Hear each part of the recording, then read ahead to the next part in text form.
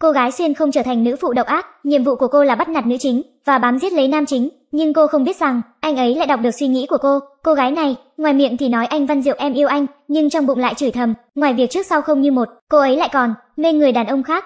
Nam chính, đâu ra cái lý đấy? Trong mắt cô chỉ được có mình tôi. Ba ngày trước nữ chính cày game xuyên đêm, ngủ một giấc dậy phát hiện mình xuyên không, trở thành một nữ phụ giàu có nhưng độc ác, lúc nào cũng gây khó dễ cho thời y, giúp nhân vật chính phát triển tình cảm, dĩ tình lén thở dài, một thanh niên năm tốt như cô, giờ đây phải bắt nạt một cô gái thì nghèo, nhưng luôn giữ cho mình cái tâm lương thiện. Hai người họ đang cùng quay một bộ phim.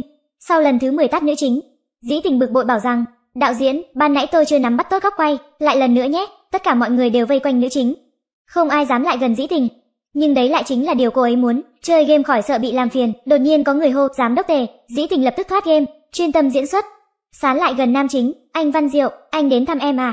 Nam chính tề Văn Diệu lạnh lùng đáp, không phải, tiếp đấy còn nói với giọng điệu bề trên, Trình Dĩ Tình, cô đừng có dở mấy thủ đoạn bị ổi đấy nữa. Nhìn thấy nữ chính đang chăm chú nghiên cứu kịch bản, ánh mắt anh ấy dịu dàng hẳn, nhưng Dĩ Tình đã diễn xong đâu. Cô ấy vừa gọi anh Diệu Văn, vừa ngã vào lòng đối phương, thế nhưng mục tiêu lại không thèm đếm xỉa đến cô. Dĩ Tình đuổi theo thì bị trượt chân, ngã rúi rụi về phía trước, không được chết cũng phải kéo theo anh ta. Thế là nam chính trở thành cái đệm cho cô, còn Dĩ Tình cũng bị giá sắt đổ ập vào người. Cô chửi thầm trong bụng, má nó, hệ thống, bị thương là phải trả thêm tiền nhé, đây không phải tình tiết trong chuyện.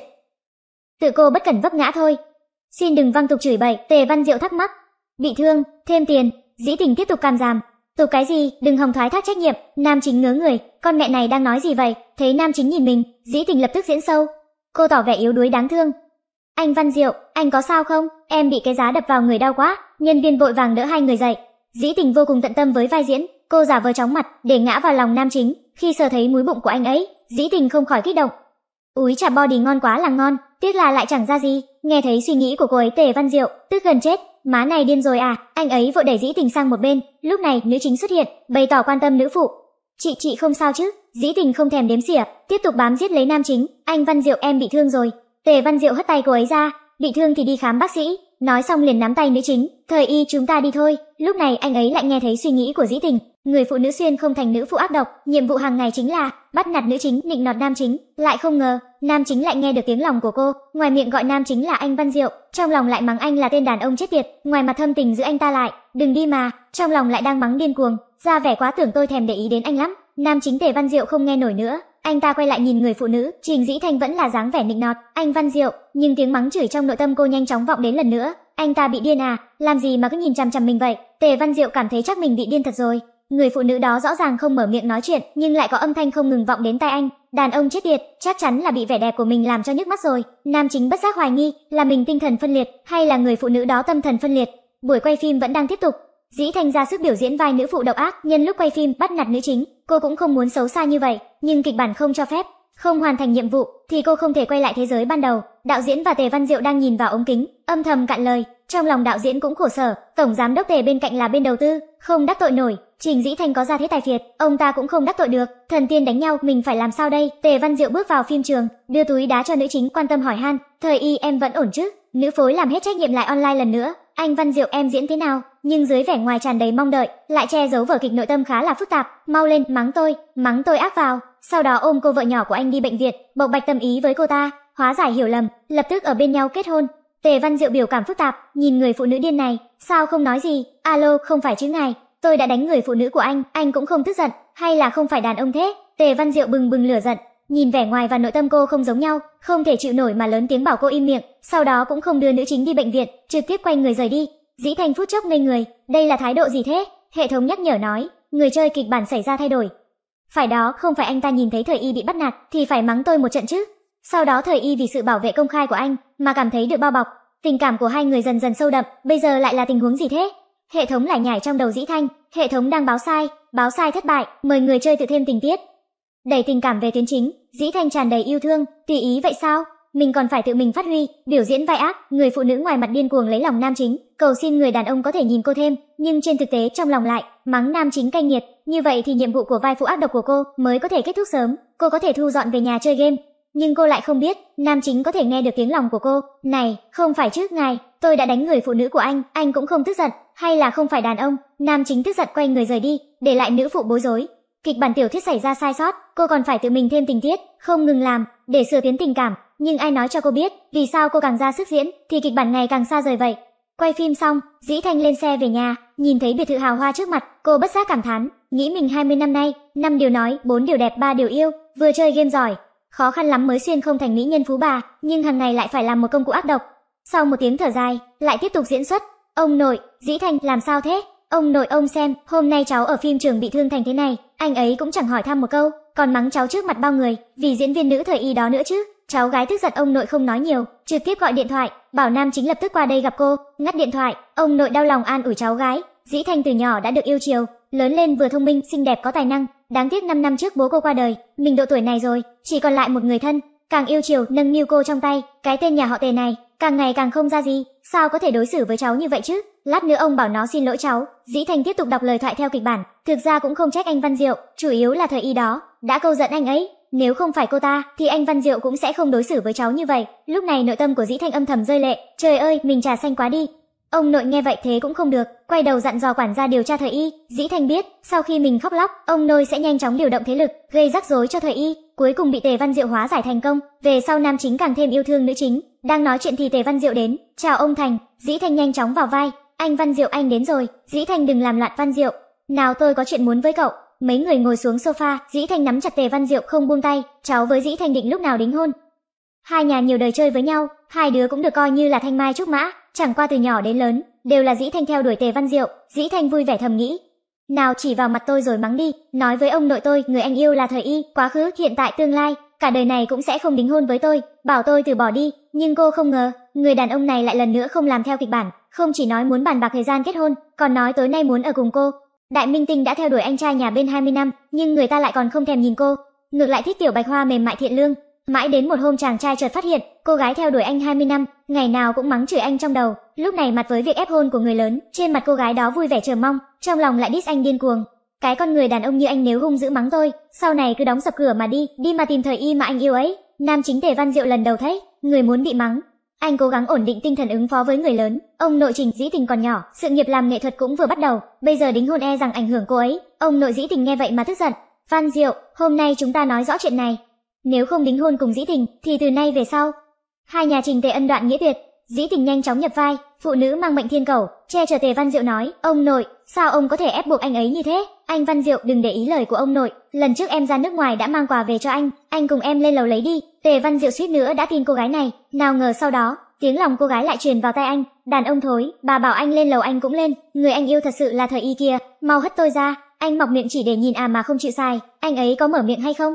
Tề Văn Diệu không thể chịu đựng, người phụ nữ đáng chết này, thật sự là đồ hai mặt, muốn bảo tôi hất cô ra, tôi không đấy, ông nội chuyện đính hôn, quả thật nên đưa vào danh sách quan trọng, con và Dĩ Tình gần đây bàn bạc kỹ lưỡng, quyết định được một ngày, sau đó nở nụ cười nhìn người bên cạnh, "Dĩ Tình em thấy thế nào?" Dĩ Tình trực tiếp hóa đá tại chỗ, nhưng người mệnh thiên cầu không thể gục ngã, chỉ có thể dưng dưng bổ nhào vào lòng người đàn ông. Anh Văn Diệu nghe lời anh hết, nhưng trong lòng lại đang điên cuồng mắng chửi, "Tề Văn Diệu anh còn là người không?" Sau đó chàng trai còn đòi Dĩ Tình lên lầu lấy quà, "Anh Văn Diệu, chiếc đồng hồ này em đã chọn rất lâu, anh thích không?" Nhân vật nhỏ trong lòng vội vàng gào thét, "Mau nói không thích, đồng hồ hơn 800 ngàn tệ tôi không nỡ tặng anh đâu." Tề Văn Diệu liếc nhìn cô một cái, nhận lấy đồng hồ, Ừm, mắt nhìn rất tốt, dĩ tình trên mặt bình tĩnh, trong lòng lại đang buồn bực, anh ta sao lại khen mình, lẽ nào bị ông nội uy hiếp vài câu đã thỏa hiệp, sợ rồi sao? Tề Văn Diệu anh non quá, chàng trai thức gần chết, lại dám nói mình non.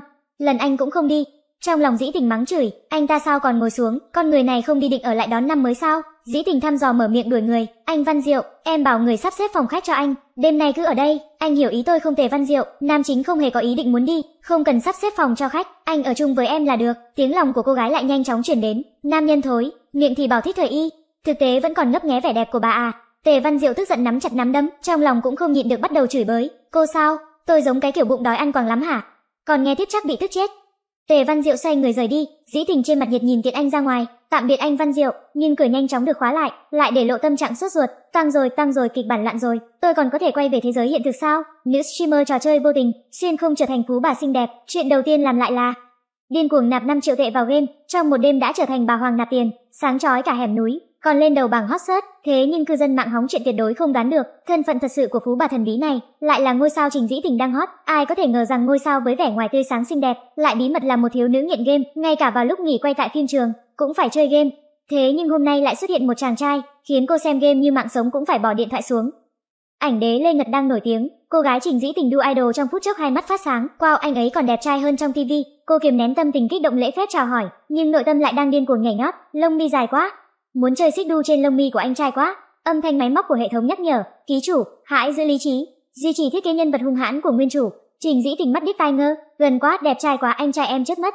Hệ thống, ngươi không hiểu niềm vui của một cô gái đu idol đâu, quay phim cùng idol, năng suất chắc chắn đủ tiêu chuẩn, đạo diễn cũng tương đối hài lòng, tính cách Trình Dĩ Tình dù hơi buông thả, nhưng diễn xuất thật sự không phải bàn. Tề Văn Diệu vốn đến tổ quay phim tìm thời y, không ngờ lại nhìn thấy người phụ nữ phiền phức kia, anh khẽ nhíu mày, Trình Dĩ Tình đã dùng ánh mắt này, nhìn mình đâu chỉ có một lần, bây giờ cô ta lại đem ra để nhìn đàn ông khác, Dĩ Tình không hề phát giác chuyện này, cô vẫn đang tìm cơ hội trò chuyện với ảnh đế, biểu hiện ban nãy của em thế nào ạ? Thần tượng trả lời, vô cùng tốt có cơ hội nhận được giải thị hậu, nhân vật thu nhỏ trong nội tâm Dĩ Tình vui muốn bay lên, thần tượng khen tôi vui quá. Ký chủ Tề Văn Diệu đã đến, sắc mặt Tề Văn Diệu đen như đáy nồi, lạnh lùng nói, tôi đến tìm thời y, anh Văn Diệu em không biết thời y ở đâu. Dĩ Tình biết nội dung tiểu thuyết, điên cuồng gào thét trong lòng, cô ta bị ông nội uy hiếp, đi khỏi nhà rồi, bây giờ người không có đồng nào, đang tránh ở một quán nét tên tụ hữu, anh tới đó mà tìm, đến phim trường tìm cái quần gì, làm hỏng chuyện tốt của bà. Hừ, nghe thấy người mình thích bị hãm hại, Tề Văn Diệu tức giận nắm lấy cánh tay của cô, Trình Dĩ Tình, người phụ nữ ác độc này, Dĩ Tình không hiểu sao bị giống vào mặt, nhưng bên ngoài vẫn cố gắng duy trì kiểu nhân vật nịnh nọt, anh Văn Diệu anh đâu có, nhưng trong lòng lại mắng thầm, đàn ông chết tiệt thần kinh phân liệt à, tự nhiên kiếm chuyện, làm đau bà quá. Tề Văn Diệu nghe thấy tiếng lòng của cô, cảm xúc chịu đựng mấy ngày nay hoàn toàn bùng nổ, tôi sẽ không thích cô, vĩnh viễn cũng không, cô nghĩ cô muốn cự tuyệt lại ra vẻ mời chào, giờ mấy thủ đoạn hèn hạ, tôi sẽ chú ý cô sao? Trên mặt Dĩ Tình lộ ra biểu cảm ủy khuất, anh Văn Diệu em thật sự không như vậy, trong lòng lại khinh bỉ. Ai mà thèm lạc mềm buộc chặt với anh, anh á hả? Ảnh đế lên ngật đẹp trai hơn anh nhiều được chưa? Tề Văn Diệu lần này càng tức giận, nén lửa giận xoay người rời đi, Dĩ Tình buồn bực trong lòng, kịch bản này cứ sai sai, hẳn là sau khi tìm thấy nữ chính thời y, anh ta mới đến mắng tôi chứ. Đang kiểm tra, xin hãy đợi. Hoàn tất kiểm tra, kịch bản xuất hiện sai lệch, xin ký chủ sửa đổi kịp thời. Dĩ Tình vừa bị mắng xong, vẫn có chút thất thần. Lúc này Lê Ngật lo lắng hỏi thăm, cô vẫn ổn chứ? Cần xin đạo diễn về nghỉ ngơi không? Thần tượng nói chuyện, Dĩ Tình lập tức tràn trề sức sống, không có gì tôi không sao, ký chủ kịch bản xuất hiện sai lệch. Hãy nhanh chóng sửa đổi, Dĩ Tình lập tức cáu bẩn, im mồm, đề nghị lập tức đi tìm Tề Văn Diệu tăng độ hào cảm, không nghe không nghe như rùa niệm kinh vậy. Người phụ nữ xuyên không vào sách trở thành nữ phụ độc ác, nhiệm vụ mỗi ngày là bắt nạt nữ chính và bám giết lấy nam chính, không cô không biết là nam chính lại có thể nghe được suy nghĩ của cô, người phụ nữ này ngoài miệng nói, Hajima đừng đi mà, nhưng trong lòng lại nghĩ là, nếu anh là thằng đàn ông thì cút mau, tìm nữ chính của anh kết hôn sinh con đi, như vậy thì tôi cũng được về nhà sớm. Người đàn ông tức giận lúc nào cũng muốn kẹp chết cô, con người cũng bắt đầu phản nghịch hơn, tuy rằng vẫn theo kịch bản tiểu thuyết, đón nữ chính gặp khó khăn về biệt thự của mình, nhưng trong lòng vẫn có một khúc mắc, rốt cuộc vì sao Trình Dĩ Tình cứ ghép đôi mình với thời y chứ? Trình Dĩ Tình xuyên không thành nữ phụ nhìn thấy kịch bản quay lại tiến chính, thì thở phào nhẹ nhõm, tuy rằng sai cả lố tình tiết, nhưng cũng may nam nữ chính đã thành công ở chung rồi. Thế là cô rảnh rỗi, dự định đánh mấy ván game để chúc mừng. Hôm sau, Dĩ Tình trang điểm xinh đẹp, để tiếp vở kịch quan trọng hôm nay, cùng Tề Văn Diệu tham gia yến tiệc. Cố Tình dẫn theo nữ chính thời y và sỉ nhục cô trước mặt mọi người, để Tề Văn Diệu đau lòng, khiến mối quan hệ của nam nữ chính tiến thêm một bước. Dĩ Tình âm thầm phì nhổ trong lòng, đây là thể loại tác giả rác rưởi gì vậy? Viết tiểu thuyết cầu huyết như thế, vì để nhanh chóng quay về thế giới hiện thực, Dĩ Tình chỉ đành ra sức diễn vai nữ phụ ác độc. Đầu tiên là ngông cuồng ra lệnh cho thời y cùng cô tham gia yến tiệc, đứng bên cạnh cầm túi cho cô, nếu không sẽ đá cô ấy ra khỏi đoàn phim. Sau đó cố tình lái xe đi không đưa cô ấy theo. Nữ chính hết tiền chỉ đành mặc lễ phục, đạp xe đạp công cộng đến khách sạn tìm cô. Trong lòng dĩ tình có chút lo lắng cho nữ chính. Tác giả viết nhân vật phản diện làm việc, đúng là không có chút đạo lý nào hết. Nữ chính đáng thương quá đi, người chơi vui lòng không có tâm lý phản nghịch. Dựa theo kịch bản hoàn thành nhiệm vụ, khi thời y đầy mồ hôi chạy đến, Dĩ Tình đã trang điểm rực rỡ xinh đẹp, tuy rằng trong lòng không nhẫn tâm, nhưng cô vẫn phải tiếp tục làm khó người ta. Thời y nhẫn nhịn cuối cùng cũng bùng nổ cảm xúc, cô ấy khóc chất vấn, "Đàn chị, rốt cuộc chị muốn tôi thế nào?" Dĩ Tình đập một cái, đứng dậy, vênh váo hung hăng đáp trả, "Cô có thái độ gì vậy? Yến tiệc tối nay phần lớn là hào môn thế gia, có cả đạo diễn và minh tinh nổi tiếng, cho cô đi theo đã là may mắn của cô rồi, làm sao?" Vẫn không thỏa mãn, nội tâm Dĩ Tình âm thầm rơi lệ, mình quá đáng quá đi, Thời y nghe đến tối nay có thể lộ diện trước mặt các đạo diễn nổi tiếng, vì tiền đồ của bản thân chỉ đành nhẫn nhịn, nhưng cảnh tượng tiếp theo lại phút chốc vạch trần tất cả vỏ bọc của cô. Khi Trình Dĩ Tình xinh đẹp dạng người xuất hiện, người đàn ông cô ấy yêu lại bị thu hút, còn mình lại biến thành phông nền của đàn chị. Khi người đàn ông cuối cùng cũng chú ý đến cô ấy, chẳng những không hề bất ngờ, còn cau mày hỏi, sao cô ấy lại ở đây? Nữ chính thời y tâm ý nguội lạnh, phẫn nộ đố kỵ không cam lòng phút chốc bùng nổ. Dĩ Tình ở bên cạnh nhìn mà lo lắng, cái tên đàn ông đần này có biết nói chuyện không đấy? Lúc này trực tiếp cưỡng hôn là xong chuyện rồi. Người phụ nữ xuyên không vào sách thành nữ phụ độc ác, nhiệm vụ hàng ngày chính là không ngừng gây sự, khiến tình cảm của nam nữ chính ngày càng bền chặt qua gian khó, nhưng cô lại không ngờ, nam chính có thể nghe được suy nghĩ của cô, khi cô lấn áp nữ chính xinh đẹp xuất hiện, liếc thấy ánh mắt kinh ngạc của nam chính, trong lòng đắc ý nghĩ, hơ, đàn ông chết tiệt, biết ngay anh thèm khát vẻ đẹp của bà đây. Nam chính nghe được suy nghĩ của cô, kiềm chế cơn tức giận muốn bóp chết cô, tức đến không biết nói gì, nhưng quay đầu lại nhìn thấy Thời Y cũng ở đó, mỗi lần nhìn thấy thời y, anh luôn cảm thấy bị thu hút, giống như bị một sức mạnh nào đó dẫn dắt, không kìm được mà lại gần cô ấy. Nếu như Dĩ Tình biết anh đang nghĩ gì, nhất định sẽ nói với anh, đây gọi là sức mạnh kịch bản. Dĩ Tình thấy người cũng đến đủ rồi, vội vàng bắt đầu làm tròn vai ác, rõ ràng là cô uy hiếp, bây giờ lại nói thời y nghe nói có đạo diễn nổi tiếng, cứ đòi đi theo. Thời y đau đớn bởi ánh mắt của nam chính, tất cả những ấm ức phải chịu hôm nay phút trước bùng nổ, phải là tôi muốn đến. Làm sao? Không được sao? Tề Văn Diệu lại bắt đầu nói lời kiểu nam thẳng, không thích hợp với em, đừng đi nữa. Thời y không nhân nhượng hỏi ngược lại, vì sao không thích hợp, đều là thượng lưu xã giao, thế nên tôi không trèo cao được. Dĩ tình hóng hớt đều đang, sốt ruột thay cho hai người. Tề Văn Diệu có biết nói chuyện không thế? Đồ đần. Thời gian của buổi tiệc đã đến, dĩ tình phá vỡ ngượng ngùng thúc giục xuất phát, bởi vì nữ chính và Tề Văn Diệu vẫn chưa chính thức xác định quan hệ, chỉ đành ấm ức ngồi ghế sau. Dĩ tình nhìn bầu không khí ngượng ngùng này, trong lòng không kìm được, lúc này còn tức giận gì chứ? Ôm cô ấy cưỡng hôn là xong chuyện, nhìn y như hũ nút vậy. Thời y biết được anh đang nghĩ gì à? Ôi chao, sao mình lại đẹp thế này? Đẹp thế này thì phải làm sao? Tề Văn Diệu không thể chịu được nữa, bỗng nhiên nói một câu, "Trật tự đi." Tiếng phỉ nhổ trong lòng Dĩ Tình nhanh chóng ập đến, đã chẳng có ai nói chuyện, làm ồn đến mắt anh đấy à? Anh đến chỗ không người đi, đúng là bị điên. Nhưng ngoài mặt lại hoảng sợ sán lại gần, "Anh Văn Diệu đừng tức giận." Thời Y ngồi đằng sau nhìn hai người tương tác, âm thầm nắm chặt nắm đấm, mấy người nhanh chóng đến nơi tổ chức tiệc, Dĩ Tình tiếp tục làm tròn vai nữ phụ. "Anh Văn Diệu, anh đỡ em với." Lúc xuống xe trong lòng đắc ý. Ôi trời, bảo đỡ là đỡ, tên đàn ông chết tiệt này không phải thích mình rồi đấy chứ. Tuy rằng sức hút của mình lan tỏa, nhưng người anh ta yêu nhất là thời y, làm sao bắt cá hai được, rác rưởi. Tề Văn Diệu thật sự cạn lời, thế mà cũng chửi được. Anh ta không nhịn được mà đáp trả một câu, Trình Dĩ Tình cô bị điên à? Dĩ Tình tủi thân hỏi, anh Văn Diệu sao anh lại tức giận với em rồi? Trong lòng điên cuồng gọi hệ thống, hệ thống mày ra đây, trong thiết lập anh ta không phải được giáo dục tốt, xuất thân quý tộc sao? Anh còn biết mắng người nữa, hơn nữa còn là giận cá chém thớt, tôi đâu có chọc anh ta, đang kiểm tra vui lòng đợi. Thiết lập nam chính xảy ra sai sót, mời người chơi tự điều chỉnh, Dĩ tình cạn lời, trẫm cần ngươi làm gì?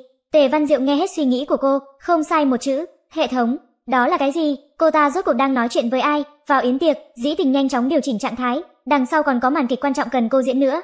Cô gái xuyên vào sách trở thành nữ phụ độc ác, chuyên bắt nạt nữ chính và định nọt nam chính.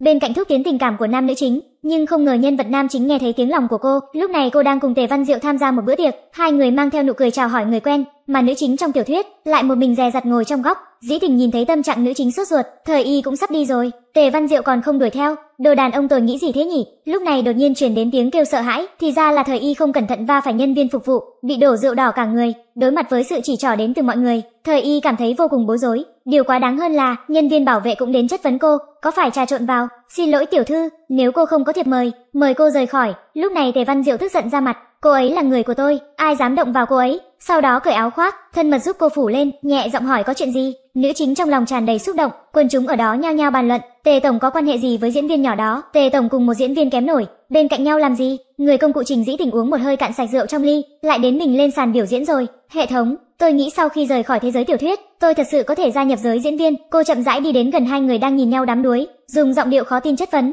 Anh Văn Diệu thời y, hai người đang làm gì vậy? Tề Văn Diệu nghe thấy tiếng lòng của cô, biết cô lại bắt đầu giở trò, trực tiếp kéo người ra khỏi sảnh tiệc, dĩ tình mắng chửi trong lòng, nè nè anh kéo nhầm người rồi, thời y nhà anh phía sau đi theo kia, đừng đụng vào bà, nghe thấy chưa, đừng có đụng vào bà. Tề Văn Diệu dừng bước, trong lòng người phụ nữ này diễn sao nghệ đến thế, dứt khoát hất tay của cô ra, dĩ thanh xoa cổ tay đau đớn, lại bắt đầu diễn sâu, anh Văn Diệu anh nói rõ, anh có phải thật sự thích thời nghi không? Thế em thì sao, em thì sao đây? Tề Văn Diệu lại nghe thấy tiếng gào thét trong lòng cô, đừng sợ can đảm thừa nhận đi, nói anh yêu thời y, anh phải nói đi, tôi xem anh là đàn ông đích thực ngay. Thấy Tề Văn Diệu không động tĩnh, Dĩ Trình tăng thêm cường độ diễn sâu, điên cuồng dùng ngôn ngữ ám chỉ, anh Văn Diệu tôi biết, anh không thích thời nghi đúng không? Anh mà thích cô ấy nhất định sẽ chính miệng thừa nhận, đúng không? Trong lòng Dĩ Thanh đã có dự cảm không lành.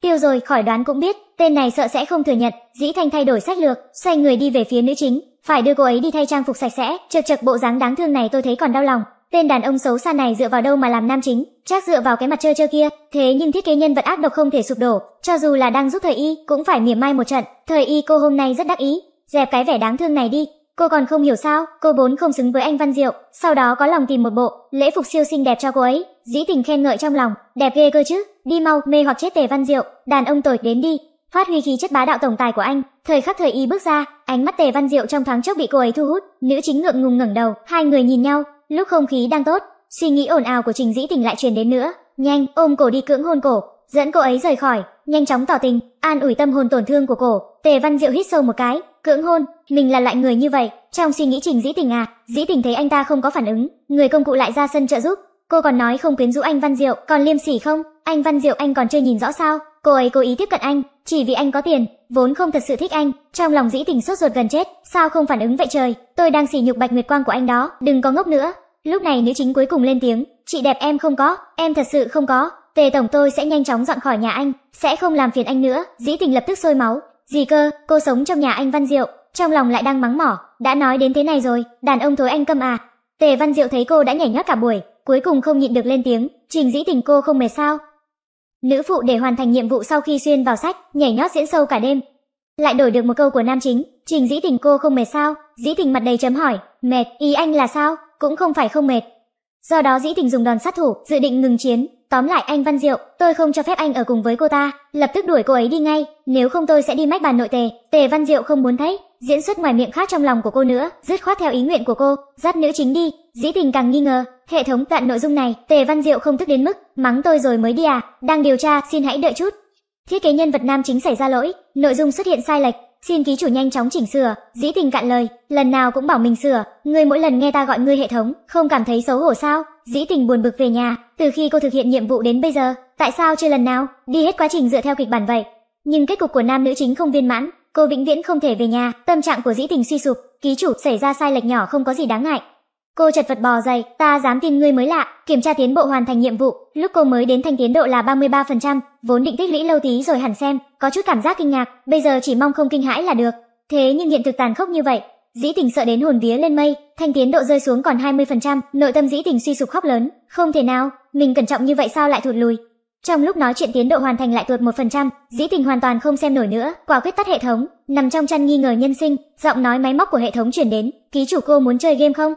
Dĩ Tình không còn sức lực trả lời, nó lạ lắm hệ thống à, lần trước chẳng phải ngươi nói đã phản hồi về trụ sở chính rồi sao? Thông tin theo sau thế nào? Bởi vì vài nguyên nhân nào đó, tạm thời không liên lạc được tổng bộ. Ký chủ thả lòng tinh thần, Kết cục tệ nhất cũng chỉ là mãi mãi, sống với thân phận Trình Dĩ Tình thôi, ra thế cô ấy hiển hách không lỗ. Dĩ Tình nghiến răng nghiến lợi trả lời, ta cảm ơn lời an ủi của ngươi. Sau đó cô quyết định hóa bi thương thành sức mạnh, quay phong một cõi tìm lấy chính mình trong game. Dĩ Tình ở thế giới gốc chính là streamer trò chơi, trò nào cô cũng chơi rất đỉnh, xuyên vào sách mười mấy ngày đã dựng nên chiến đội, đạt được thành tích. Lúc này thành viên trong đội kéo người mới vào, tên là Quy. Dĩ Tình đã đồng ý, lại không ngờ kỹ năng của Quy này có chút tệ. Trong trò chơi, sau khi Dĩ Tình đánh bại người thứ N, không nén được quay đầu nói với Quy, con gà vừa đến kia, cứu cậu ba lần rồi, không biết chơi thì nấp vào, đừng gạt giò. Quy trả lời ba cái chấm hỏi, có lẽ là đang tiêu hóa tên mới của mình. Dĩ Tình bình tĩnh nói, mới chơi kỹ năng không ổn đó. Cô tiếp ở trước mặt đại sát tứ phương, thấy Quy vẫn đứng im. Gà con cậu không biết nói chuyện, Quy chỉ trả lời bằng một sự im lặng tuyệt đối. Dĩ Tình tháo tai nghe, được rồi, hôm nay đến đây thôi, chúc ngủ ngon gà con. Hôm sau, Dĩ Tình đến nhà họ Tề, mách với bà nội Tề Diệu Văn Như trong kịch bản, cầu xin bà ra mặt đuổi thời y đi. Bà nội Tề luôn rất thích Dĩ Tình, vừa nghe cháu nội bị nữ nhân định hót quyến rũ, ngay tức khắc muốn đứng ra giải quyết giúp Dĩ Tình. Tề Văn Diệu đang định ra khỏi nhà, đi đến phòng khách lại bị bà nội nghiêm nghị gọi lại, con mang phụ nữ về nhà. Tề Văn Diệu liếc nhìn Dĩ Tình, Dĩ Tình đắc ý suy nghĩ, anh xem tôi làm gì nè, chính là đi mách đó, anh cắn tôi đi. Tề Văn Diệu mắng thầm đồ phụ nữ điên, xoay đầu thừa nhận với bà nội, con hồ đồ, sao con có thể tùy tiện dẫn phụ nữ về nhà? Suy nghĩ của Dĩ Tình lại truyền đến, bà nội Tề, đúng vậy, mắng anh ta đi, đã lâu vậy rồi, theo đuổi một người con gái chút tiến triển cũng không có, đồ đàn ông thối tha vô dụng. Tề Văn Diệu không nhịn nổi hét lên, Trình Dĩ Tình, bà nội Tề ra sức phản bác, con còn trách Dĩ Tình, cô thời nghi kia con nên đuổi đi cho bà. Tề Văn Diệu bất đắc dĩ trả lời, bà nội con sẽ xử lý chuyện này, thế bắt đầu từ hôm nay, để Dĩ Tình chuyển đến chỗ con đi. Dĩ Tình tỏ vẻ chuyên tâm lắng nghe, trong lòng lại đã bay đến 9 tầng mây, ẩy mấy hôm rồi chưa gặp idol lên ngật. Nhớ ảnh quá, Tề Văn Diệu trong lòng ảo não, miệng nói thích tôi, trong lòng toàn là người khác, dối trá cực kỳ, dứt khoát trả lời bà nội, vâng ạ thế để cô ấy vào sống ạ. Dĩ Tình ngơ ngác, họa tự nhiên giáng xuống đầu thế. Xuyên không thành nữ hụ hàng ngày bám lấy nam chính, làm nũng lấy lòng tặng đồng hồ, nhưng nam chính vẫn muốn hẹn hò với người khác, thế là cô tìm đến phụ huynh để kể tội, nhưng cô lại không biết, nam chính có thể nghe được suy nghĩ của cô, người phụ nữ ngoài mặt làm nũng khen tuông, trong lòng lại nghĩ đến người đàn ông khác, thế là tức giận đồng ý, kết hôn với cô, dĩ tình gượng cười, bước lên làm nũng, thật sao, anh Văn Diệu, em biết trong lòng anh có em mà, nội tâm lại sắp phát điên. Không phải anh ta nên phản đối kịch liệt, bà Tề phải lấy cái chết ra để ép, anh ta mới lạnh lùng, miễn cưỡng đồng ý sao? Trong lòng Tề Văn Diệu hoài nghi, nếu đã không thích tôi, vì sao còn phải khẩu thị tâm phi miễn cưỡng chính mình, nhưng giây tiếp theo người phụ nữ này lại thơm anh, anh ta phút chốc kinh ngạc, hình như cũng không phản cảm lắm.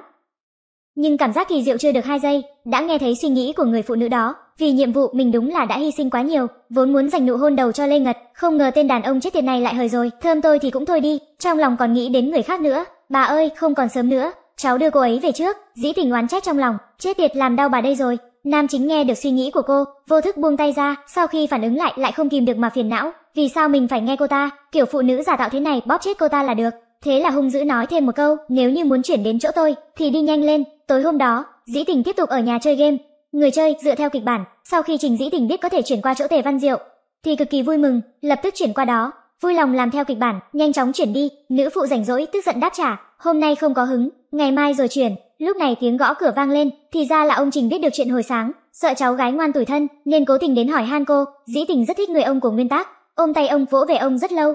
Sau khi ông rời khỏi, cảm xúc của Dĩ Tình phức tạp, quay trở về trước máy tính, bỗng nhiên cảm thấy game không vui nữa, cô dứt khoát tắt máy tính, nằm lên giường nghĩ, có lẽ có thể ở lại đây luôn, cũng khá tốt nhỉ, dù gì thế giới hiện thực, ngoại trừ game, mình chẳng có gì cả. Hôm sau, Dĩ Tình đến phim trường quay phim, cuối cùng có thể gặp được idol Lê Ngật mà cô vẫn hằng nhớ mong rồi. Trợ lý nhược nhược nhắc nhở Dĩ Tình, lần trước cô ăn cơm cùng Lê Ngật, bị paparazzi chụp được, công ty khó khăn lắm mới đè được tin xuống, hay là cô vẫn nên chú ý thì hơn. Dĩ Tình bị ép diễn vai đại tiểu thư kiêu ngạo.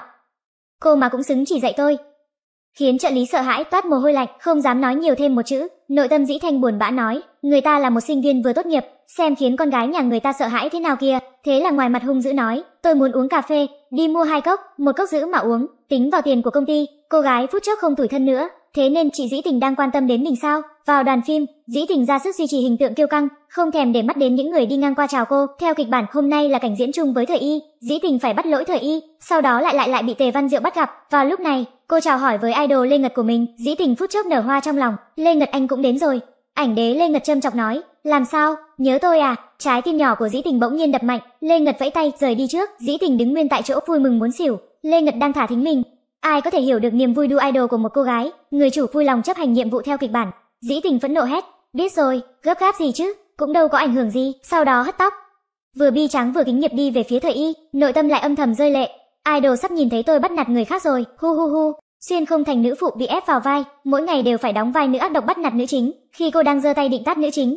Nam chính xuất hiện anh hùng cứu mỹ nhân, đẩy cô ra xa, nữ phụ trình dĩ tình trong lòng mắng điên cuồng, Đàn ông chết tiệt dùng sức mạnh như vậy, muốn khiến tôi ngã chết à? Sau khi nam chính biết thời y không sao, ngẩng lên nhìn Trình Dĩ Tình, lại thấy cô được ảnh đế lên ngật đỡ lấy, một người quan tâm hỏi, "Em không sao chứ?" Một người ngại ngùng trả lời, "Không sao." Nội tâm Dĩ Tình kích động đến hua tay múa chân, tên đàn ông chết tiệt bà đây không độ trời chung với anh, vẫn là idol tốt. Khi hoàn hồn mới nhớ ra, vở kịch của mình vẫn chưa diễn xong, lại quay ra khiêu khích.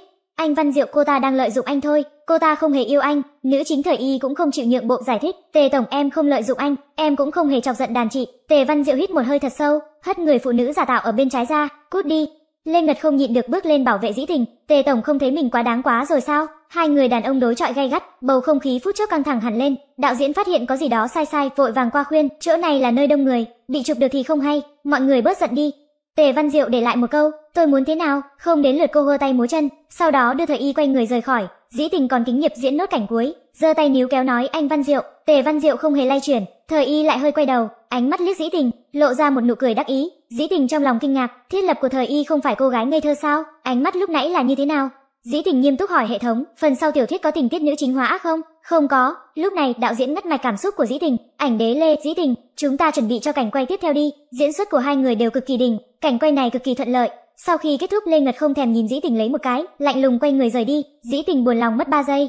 Tiêu rồi idol của mình giận rồi, là vì chuyện với Tề Văn Diệu lúc nãy sao? Làm sao đây? Nhưng chớp mắt tên mê sắc đẹp vô tình này đã nghĩ thông suốt, vậy mình treo tường đu người khác là được, chỉ cần thay idol nhanh, không có đau thương chỉ có tình yêu. Sau khi tan làm dĩ tình lái xe thẳng đến nhà Văn Diệu, trên đường lướt video của quán quân hát nhảy, cô gái đu idol lại lần nữa có trốn về. Wow wow, em trai từ khôn đẹp trai quá đi. Rất nhanh đã đến cửa biệt thự của Tề Văn Diệu, dĩ tình dồn nén cảm xúc chuẩn bị khai chiến. Ai ngờ bước đầu tiên đã phạm sai lầm, cô không qua được cửa luôn. Sau n lần nhập sai mật khẩu, nội tâm dĩ tình sắp bùng nổ, cô bắt đầu đập cửa thật mạnh. Tề Văn Diệu anh mở cửa đi, mau mở cửa, anh đừng trốn trong đó, không lên tiếng. Tôi biết anh ở nhà, anh có bản lĩnh đổi mật khẩu, mà không có bản lĩnh mở cửa à? nhưng chưa gọi được Tề Văn Diệu, mà lại gọi bảo an đến, thấy lớn chuyện. Tề Văn Diệu cuối cùng cũng mở một khe hở, một tay kéo người phụ nữ nóng nảy này vào, nhưng câu đầu tiên khi vào là, lại muốn đuổi cô đi, đồ của cô trên tầng, thu dọn xong thì đi ngay lập tức. Tôi không đi, Dĩ Tình ngó lơ Tề Văn Diệu, tự tiện ngồi lên sofa, Tề Văn Diệu nhấc áo Dĩ Tình lên, làm sao, bây giờ còn không thèm giả vờ nữa rồi, trong lòng Dĩ Tình nghi hoặc, giả vờ, sao anh ta lại nói vậy, lẽ nào mình đã ảnh hưởng đến anh ta và kịch bản rồi, ngoài mặt Dĩ Tình yếu đuối nói, lúc nãy cũng là vì em qua nóng ruột rồi, xin anh đừng đuổi em đi, có được không, nhưng trong lòng lại phẫn nộ nói, ăn nhờ ở đậu không thể không cúi đầu, lần này bà đây nhớ kỹ rồi, đợi sau này có cơ hội, tôi nhất định sẽ đòi lại. Tề Văn Diệu nghe thấy những suy nghĩ này của cô, chỉ cảm thấy vừa mơ màng vừa mệt mỏi, thế nào là kịch bản, hệ thống lại là ai nữa? vì sao Trình Dĩ Tình lại cứ phải giả vờ yêu anh ta? Anh ta đi thẳng lên tầng không thèm quan tâm cô nữa. Dĩ Tình lần nữa ngây người, thế này là cho mình ở lại rồi. Nữ phụ đã chuẩn bị sẵn tâm lý, cho dù bị nam nữ chính ghét bỏ, cũng phải mặt dày bám lấy. Nhưng Dĩ Tình không ngờ, đãi ngộ của bản thân lại tốt hơn, so với tưởng tượng rất nhiều. Trên bàn ăn, nam nữ chính im lặng không nói gì, Dĩ Tình buồn bực trong lòng, sao thế, kiểu này là mình không xuống, thì hai người này cũng không bắt đầu bữa cơm luôn. Thấy Dĩ Tình xuất hiện, nữ chính thời y nhiệt tình chào cô, "Đàn chị." Dĩ Tình nhìn dáng vẻ trong sáng của cô ta trong lòng thầm nghĩ, ban ngày chắc là mình nhìn nhầm rồi nhỉ, thời y làm sao có thể là gơn tâm cơ được, gơn tâm cơ, đó là cái gì? Dĩ Tình vừa mở miệng đã tự động nhập vai diễn độc ác, thời y, ngày nào cô cũng ở đây ăn trực uống trực, không lo truyền thông phát hiện ảnh hưởng đến sự nghiệp sao? Cô không tìm được nhà, hay là vốn không muốn tìm? Nói xong lời thoại, ánh mắt Dĩ Tình liếc món ngon trên bàn, món đầu sư tử này nhìn có vẻ rất ngon. Wow, món tôm nõn này đỉnh rồi, thịt bò bít tết, món mình yêu nhất. Tề Văn Diệu thầm cảm thấy buồn cười, thời y thấy anh không hề nói giúp mình, còn nhìn trộm đàn chị, chỉ đành thất vọng tự mình đối phó Dĩ Tình. Đàn chị em nào có? Dĩ Tình nhếch mép cười, nói, không có, được thôi, Trước ngày mai tìm được nhà và chuyển ra ngoài, Tề Văn Diệu cuối cùng cũng lên tiếng, đủ rồi, ăn cơm, dĩ tình ngoan ngoãn đồng ý, dạ vâng anh Văn Diệu, nội tâm lại hơi nghi hoặc. Thế này là xong rồi, sao anh ta không hung dữ với mình, kịch bản chỗ này không phải có một trận xung đột lớn sao, người chơi kịch bản lần nữa xảy ra sai sót. Dĩ tình giả vờ không nghe thấy tiếng nói của hệ thống, tập trung ăn món ăn ngon, Tề Văn Diệu thỉnh thoảng lén liếc cô, nhìn thấy cô nhanh chóng ăn hết sạch món ăn trước mặt. Sau đó thỏa mãn vỗ bụng no, còn tán thưởng trong lòng, bữa cơm của người đàn ông chết tiệt ngon thật đấy. Tề Văn Diệu không nhịn được hỏi, ăn no rồi à? Dĩ Tình vui vẻ đáp vâng, bát đũa trong tay thời y khựng lại, nhưng cô vẫn chưa ăn no ok, nhưng cô vẫn bỏ bát đũa xuống, đứng dậy nói, Tề tổng, đàn chị, em thu dọn bát đũa. Dĩ Tình ăn no uống say, càng ra sức đóng kịch. Làm sao? Nhẫn nhịn để câu giận anh Văn Diệu, đừng hòng. Tề Văn Diệu hờ hững nói, bát đũa cứ để đó là được, chị Trịnh sẽ dọn dẹp. Nhìn thấy người đàn ông chết tiệt sắp lên tầng, Dĩ Tình bất mãn trong lòng oán trách, thế thôi à? Mình thật muốn ôm đùi Tề Văn Diệu, cầu xin anh ta mắng mình mấy câu đi. Thế là Tề Văn Diệu quay đầu nói, Trình Dĩ Tình tôi cảnh cáo cô, tôi đã cho phép thời y ở chỗ của tôi, nếu như cô không chịu được, thì mau biến đi. Bảo cô ấy đi, không thể nào. Bảo mình mắng cô ta. Chưa từng nghe thấy yêu cầu như vậy, rốt cuộc vì sao cô ta cứ phải gán ghép mình với thời y, đến đêm khuya, Dĩ Tình âm thầm đến nhà bếp, giả vờ không tình nguyện nói, chị Trịnh Anh Văn Diệu bảo chị, chuẩn bị một bữa ăn đêm đưa qua cho thời y, sau đó giả vờ tức giận quay người rời đi, nửa tiếng sau, lại âm thầm hé cửa ra hóng hớt, thấy nữ chính thời y hạnh phúc khi nhận được bữa đêm, cảm thấy mình đúng là quá nhanh trí, Thế là đóng cửa đắc ý ra lệnh, hệ thống, kiểm tra tiến độ, đang kiểm tra tiến độ. Lấy danh nghĩa của Tề Văn Diệu đưa bữa đêm cho thời y, chiêu này có phải rất đỉnh không? Phải, nhưng lại bị vả mặt nhanh như vậy. Tiến độ nhiệm vụ lại lùi lại. Dĩ tình nghe như xét đánh ngang tai, cái hệ thống nát này thật sự không có vấn đề gì chứ. Hệ thống kiểm tra không có sai sót, thiện cảm của Tề Văn Diệu với thời y 11. Hảo cảm của thời y với Tề Văn Diệu 80, Dĩ tình càng cảm thấy đau lòng hơn, làm sao có thể, trong tiểu thuyết, người yêu trước không phải Tề Văn Diệu sao? Xem lịch sử ghi chép gia tăng độ hảo cảm của Tề Văn Diệu với thời y, kết quả độ hảo cảm một đường tụt dốc, khiến Dĩ tình suýt nữa xỉu ngay tại chỗ, cô giúp trong chăn cảm nhận gió bão mịt mùng. Tiêu rồi, Giang Sơn của trẫm tiêu rồi. Nghĩ đến cô ấy cẩn thận chạy theo cả nửa tháng, tên đàn ông chết tiệt này đang làm gì vậy? Thế là hôm sau, khi cô đang ngáp, xuất hiện trước mặt mọi người, đã nghe thấy nam chính quan tâm hỏi han, tối qua cô ngủ không ngon à, nếu cảm thấy chỗ nào không khỏe, thì nói với chị Trịnh, dĩ tình ngoài mặt vui như mở hội, anh Văn Diệu anh tốt với em quá đi, em biết là anh thích em mà. Trong lòng lại nóng vội đến cắn ngón tay, sao anh ta lại quan tâm đến mình thế, tiêu rồi tiêu rồi. Lúc này trợ lý nhược nhược báo cáo, chị dĩ tình, việc ở phim trường hôm qua bị người ta cắt ghép ác ý, bây giờ chị bị mắng lên hot search rồi, dĩ tình kinh ngạc, Top 3 hot search toàn là mắng cô, nói cô ra vẻ và mơ trèo cao đén Tề Văn Diệu, cư dân mạng cũng nói những lời rất khó nghe ở phía dưới bài đăng. Dĩ Tình đập dầm một tiếng ném điện thoại xuống đất, hai tay bóp cổ thời y. Có phải cô làm không? Chắc chắn là cô. Trong video chỉ có một đoạn nhỏ đó, là nội dung bất lợi cho tôi. Tề Văn Diệu bước lên kéo tay cô ra, Trình Dĩ Tình buông tay, Dĩ Tình khóc nói: "Anh Văn Diệu em đã bị bôi nhọ đến thế này rồi, anh vẫn còn bảo vệ cô ta, suy nghĩ của cô ấy không còn nữa, cô ấy thật sự buồn sao?"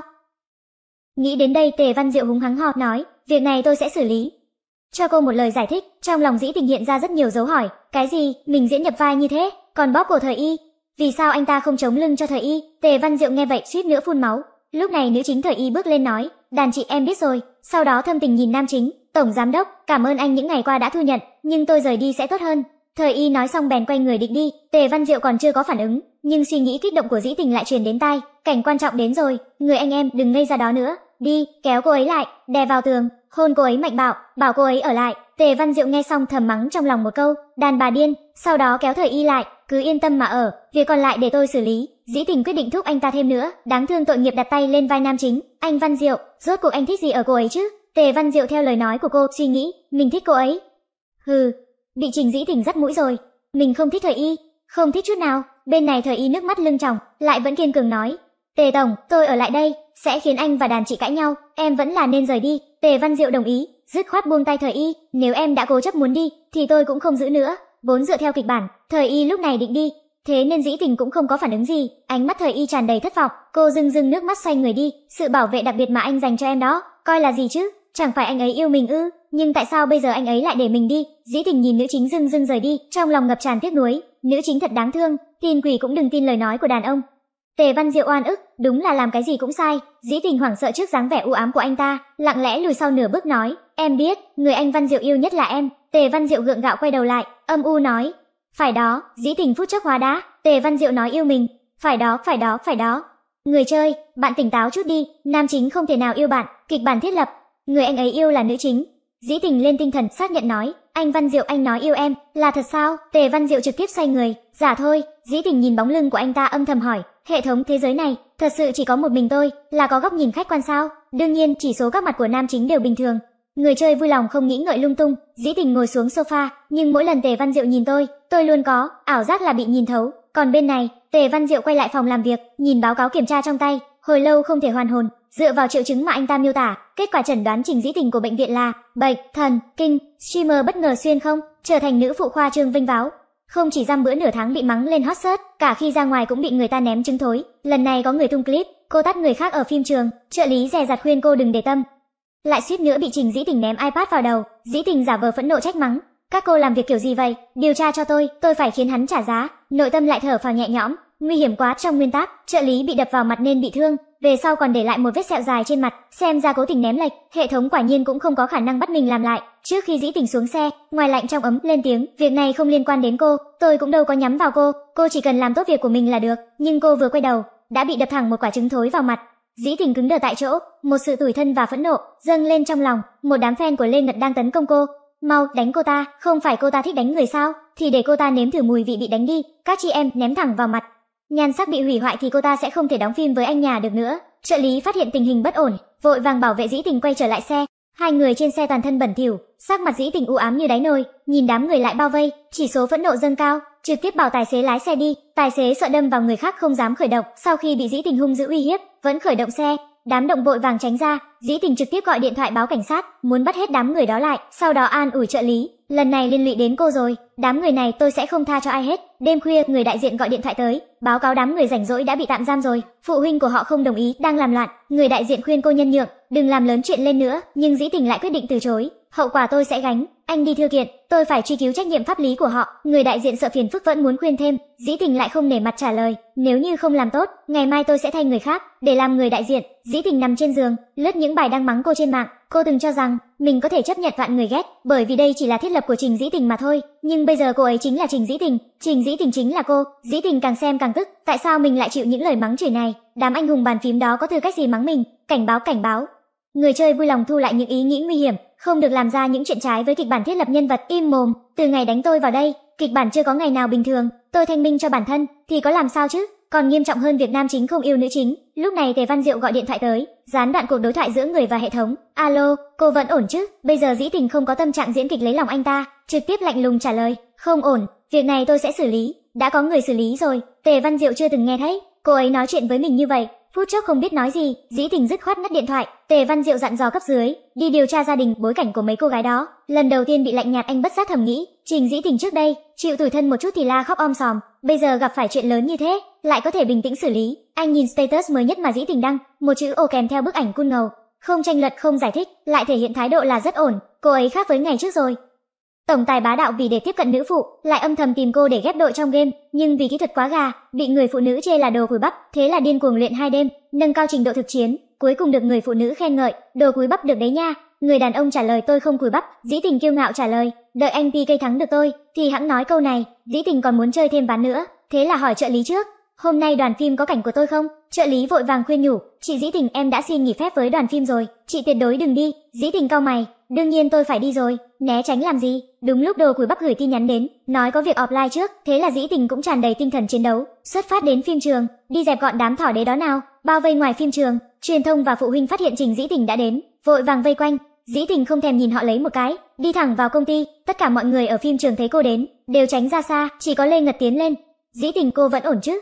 Tôi không ngờ fan của tôi lại đi tấn công cô, tôi vốn muốn nói đỡ cho cô, nhưng người đại diện đã lấy mất điện thoại của tôi. Dĩ tình bảo anh ta không cần giải thích mình đều hiểu, sau đó lễ phép cáo từ, thời gian gấp gáp tôi đi trang điểm đây. Lê Ngật muốn kéo Dĩ tình lại để giải thích, nhưng bị người đại diện ngăn lại, trợ lý tức giận kể tội, nhất định là người đại diện của Lê Ngật làm, anh ta thường xuyên cố tình tạo chủ đề, để nghệ sĩ dưới trướng được nổi, thế nên mới tác động fan bao vây công kích chị. Dĩ tình liếc thấy thời y đang ngủ say, phát hiện cô ta nghe thấy vậy, thì khóe miệng lộ ra nụ cười khả nghi, thế là trách mắng trợ lý nói năng cẩn thận, nếu không có chứng cứ thì đừng nói bừa. Lúc này, người điều tra cuối cùng đã có tin tức, thì ra ba cô gái gây chuyện cũng là kẻ bắt nạt trong trường, thường xuyên bắt nạt người khác. Cô vừa định gọi người đại diện qua, tận dụng điểm này để thanh minh cho mình, lại không ngờ Tề Văn Diệu đến phim trường, Dĩ Tình mỉm cười nghênh đón, "Anh Văn Diệu anh đến rồi." Trong lòng lại không nghĩ vậy. À phải rồi, phần này có một đoạn tình tiết Tề Văn Diệu nhìn thấy Thời Y chịu khổ, đau lòng không thôi, tình cảm đi lên, Ai ngờ Tề Văn Diệu không thèm nhìn Thời Y, đi thẳng đến bắt lấy cổ tay cô, "Theo tôi qua đây." Dĩ Tình rút tay về phản kháng, "Anh tìm tôi làm gì? Tôi không đi, liên quan đến việc gần đây cô bị bôi nhọ trên mạng, cô chắc chắn không nghe." Dĩ Tình ngoan ngoãn lên xe, không ngờ Tề Văn Diệu mạnh mẽ bá đạo như vậy, cô vừa mới nhận được tin tức. Tề Văn Diệu đã lại, chuẩn bị sẵn bản thảo thanh minh rồi, dư luận sẽ lập tức quay xe, trong lòng Dĩ Tình lại nhảy nói, "Tuy rằng cảm ơn anh ra tay nhanh hơn tôi, nhưng tôi chỉ muốn biết người bôi nhọ tôi có liên quan đến Lê Ngật không?" Thế là thử lên tiếng hỏi, anh Văn Diệu cảm ơn anh, anh biết suốt cuộc người bôi nhọ sau lưng em là ai không? Tề Văn Diệu nhíu mày. Cô ấy để ý đến Lê Ngật vậy sao?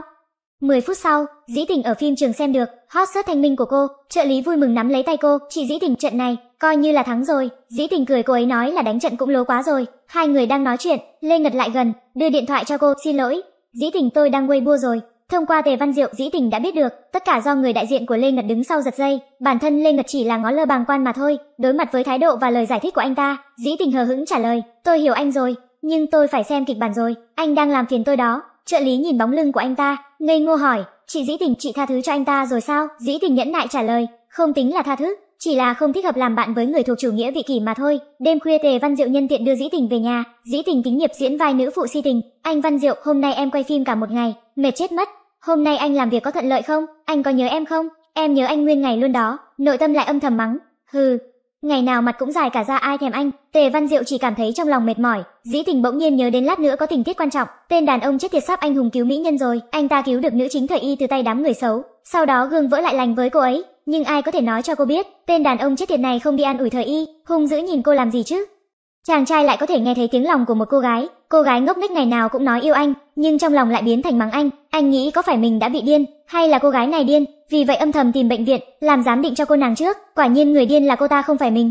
Bây giờ cô gái này lại phát điên, anh ấy đang yên ổn lái xe, cô gái lại bỗng nhiên hấp tấp, bảo mình dừng xe ngay, chỉ nghe thấy tiếng lòng của cô truyền đến, chuyện gì vậy, nè nè, anh mau nhìn thời y, Cô ấy ở bên đường kia, anh chắc chắn phải xuống xe anh hùng cứu mỹ nhân, nhìn thấy Tề Văn Diệu không phản ứng, nhân vật nhỏ trong lòng dĩ tình cuốn cuộn oa oa hét lớn, nhanh đi, còn chưa đi thì thời y xảy ra chuyện đó. Tề Văn Diệu thấy cô vậy nên vội vàng phanh xe, nhưng trong lòng toàn là chấm hỏi, thời y thật sự có chuyện sao?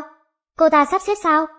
Thế mà còn bảo mình anh hùng cứu mỹ nhân, cô ta bị điên à? Lúc hai người tìm được thời y, cô ấy đang bị ba tên lưu manh quấy rối. Tề Văn Diệu bước chậm đến, không định đánh bừa, thế nhưng dĩ tình từ phía sau đẩy anh ta một cái, anh ấy lặng chặng mấy bước đã kinh động bọn chúng, dĩ tình nhanh chân nấp vào sau tường hóng chuyện, nữ chính thời y giống như nắm được ngọn cỏ cứu mạng, kích động kêu cứu với Tề Văn Diệu, đám lưu manh hống hách nói, nếu mày đã muốn lo chuyện không liên quan đến mày, thế đừng trách bọn tao không khách khí. Tề Văn Diệu nhìn thấy bọn chúng khí thế hùng hổ, lại quay đầu nhìn, sau lưng sớm đã trống không, người phụ nữ điên kia nấp vô cùng kỹ, thoáng thấy anh ta nhìn qua, còn giơ một nắm đấm cổ vũ cho anh. Tề Văn Diệu thật sự muốn nói tôi tạ ơn cô nhiều, vì vậy 20 phút sau, Tề Văn Diệu cuối cùng vững vàng đợi được cảnh sát xuất hiện, anh ấy đi ra từ nhóm người thương tích đầy mình. Đúng vậy, bạn đoán đúng rồi, anh ấy không biết đánh nhau. Thời Y lo lắng tiến lên hỏi thăm, "Sếp Tề, anh có sao không?" Tề Văn Diệu không nói câu nào, đi thẳng đến kẻ cầm đầu dĩ tình, còn chưa mở miệng đã bị tiếng lòng của cô đâm một nhát. Nam nhân thúi bình thường cao cao tại thượng, dán băng gạc nhìn cũng được ghê ta. Anh ta sao thế, nhớ đến vụ mình đẩy anh ta à, đến tìm mình tính sổ sao? Hay diễn xuất của mình chưa tới, chưa thể hiện sự quan tâm. Nghe thấy vậy Tề Văn Diệu tức giận, giơ nắm đấm đã siết chặt, dĩ tình sợ hãi nhắm chặt mắt, liên tục lùi về sau. Thế nhưng đau đớn như trong dự tính lại không có. Dĩ tình mở mắt dò xét, lại kinh ngạc phát hiện, Tề Văn Diệu thế mà Cabi đần cô, khuôn mặt đẹp trai kề sát khiến cô trong phút chống quên suy nghĩ, nhân vật nhỏ trong lòng điên cuồng nhảy cẫng, cái vẻ đẹp này quá đáng quá đi. Nghe thấy vậy Tề Văn Diệu không nhịn được hé miệng cười, cô ấy khen mình. Chính vào lúc này, Thời Y đến tìm nam chính, Dĩ Tình không do dự đẩy Tề Văn Diệu ra, đồng thời nhắc nhở mình, Tề Văn Diệu là của Thời Y, hai người trời sinh một đôi, mày dính vào làm cái gì? Tề Văn Diệu lại nghi hoặc, tại sao luôn gán ghép cho anh và Thời Y vậy? Để kiểm chứng màn anh hùng cứu mỹ nhân này, có phải cố ý sắp xếp không? Tề Văn Diệu lạnh giọng hỏi Thời Y, tại sao cô lại đến con hẻm này? Thời Y đáng thương nói, xếp tề tiền của em đều bị mẹ em lấy, em không có thông báo mới, chỉ có thể tìm khách nhỏ 50 đồng một đêm mà ở. Sau đó nhìn Dĩ Tình như có ý gì đó, em cũng không biết vì sao bọn họ đi theo em, rõ ràng em rất cẩn thận. Dĩ Tình trong nháy mắt đen mặt, trong lòng gào thét như điên. Cái ánh mắt của cô ta sao mà giống muốn hãm hại mình vậy, vẫn cứ là là Bạch Liên Hoa thôi. Dĩ Tình lặng lẽ rơi lệ, là mình sống chết kéo Tề Văn Diệu vào trong hẻm, thêm cả ánh mắt này của thời y, Tề Văn Diệu nghi ngờ mình cũng bình thường, ai ngờ nam chính đột nhiên mở miệng bênh vực cô, ở cái nơi tốt xấu lẫn lộn, sẽ có đám háo sắc đi theo cô, cũng hợp tình hợp lý. Nhân vật nhỏ trong lòng Dĩ Tình, giơ ngón cái dành cho nam nhân thúi, Tề Văn Diệu không hổ là anh, cảnh cáo cảnh cáo. Kịch bản xảy ra lỗi, xin ký chủ nhanh chóng sửa đổi. Trình Dĩ Tình giật mình, không đúng không đúng, đoạn này Tề Văn Diệu phải nghi ngờ mình, anh ta bây giờ giải oan giúp mình, kịch bản sụp đổ thành như vậy, thời y còn có thể quay về nhà họ Tề không? Tề Văn Diệu đau đớn gục ngã, không nghi ngờ cô ta cũng sai sao, nhưng vẫn thuận theo suy nghĩ của Dĩ Tình, lên tiếng ngắt đi lời nói mang theo ý đồ của thời y, không cần đi đâu cả. Không còn nơi ở thì có thể đến chỗ tôi trước, Dĩ Tình thở dài một hơi, Nam nhân thối tha nói chung cũng biết phải trái, nữ phụ trình dĩ tình về nhà, so sánh với kịch bản gốc xong càng nghĩ càng thấy sai, hành động của thời y lúc sáng rõ ràng là muốn hãm hại cô, lẽ nào cô ta đã bắt đầu hắc hóa? Ký chủ, xin đừng tự dreamer nữa. Thiết kế nhân vật tất cả bình thường, dĩ tình bây giờ đã không còn, tin tưởng vào cái hệ thống này nữa. Ngươi im mồm, mở thanh tiến độ nhiệm vụ, may mà có nhích lên một chút, nhưng cô nhìn kỹ lại, toàn bộ sự tăng lên đến từ hảo cảm đơn phương của thời y, dĩ tình lặng lẽ thở dài, cho nên nam chính không thích nữ chính tí nào. Rồi sao mà chơi, thôi vậy hủy diệt đi, Chơi game thôi, chỉ có trò chơi có thể khiến cô vui vẻ, trùng hợp tên gà con cũng online, Dĩ Tình không hề do dự mời cậu ta vào tổ đội trò chơi, Quy ở phía đối diện nhanh chóng chấp nhận lời mời, Dĩ Tình nào có thể ngờ rằng, con gà con trong trò chơi lại là nam chính tiểu thuyết Tề Văn Diệu. Hôm sau, Dĩ Tình tiếp tục đóng vai nữ phụ độc ác tại phim trường, nhân cơ hội quay phim, tát mạnh nữ chính thời y một bạt tay, thẳng tay đánh người ta rơi vào hồ bơi, thấy cô ta ho khụ khụ, Dĩ Tình mới định đưa tay kéo người lên, lại đột nhiên nghe một người hô cắt, người đến lại là nam phụ Mạnh Kiêu, lần đầu lên sàn, Dĩ tình trong lòng chật chật hai tiếng, ẩy, lốp xe si tình đến rồi. Mạnh Kiêu, người sáng lập tạp chí thời trang, đàn ông độc thân Hoàng Kim, là thanh mai trúc mã với thời y, chỉ có điều gần đây mới khôi phục liên hệ. Mạnh Kiêu đau lòng cho thời y, chất phất đạo diễn, bà tay rõ ràng có thể giả vờ, sao có thể đánh thật, là ai sắp xếp đấy? Đạo diễn cười trừ giải thích, dẫu sao Mạnh Kiêu đã đến tổ phim, có nghĩa là muốn đến đầu tư, ông ấy không thể đắc tội. Ai ngờ Mạnh Kiêu được một tấc lại muốn tiến một thước, sửa đoạn này không thể quay như vậy, tránh có người lợi dụng việc công để trả thù cá nhân. Dĩ tình không hề nhường bộ, anh nghĩ cái gì vậy? Trong lòng lại âm thầm mắng chửi, vẫn giống với thiết kế, là lốp xe tối thượng của thời y, phàm là liên quan đến thời y, IQ và EQ lập tức mất hết, thế nhưng mục đích của Dĩ Tình chưa từng là nam phụ, mà là nữ chính, thời y chớp mắt cái, lại quyến rũ được đàn ông khác, Mạnh Kiêu tức giận tiến lên, đừng cho rằng tôi không dám đánh phụ nữ, thời y thấy vậy vội vàng ngăn anh ta, ai ngà, em có chút khó chịu, có thể đưa em đến bệnh viện trước không? Mạnh Kiêu nghe vậy hoảng hốt, trực tiếp bế ngang thời y. Dưới cái nhìn chăm chú của mọi người, nhanh chân rời khỏi phim trường, trợ lý nhỏ khẽ nói, Chị Dĩ Tình, bọn họ nhất định có vấn đề. Dĩ Tình khẽ gật đầu, trong lòng cũng đang mắng chửi. Thời y một bên thì yêu Tề Văn Diệu, một bên thì lấy danh nghĩa anh em, đeo bám mạnh kiêu. Đoạn kịch bản này sặc mùi trà xanh, tiểu thuyết nát quá. Xuyên vào tiểu thuyết nát như vậy, mình thật sự khổ quá mà.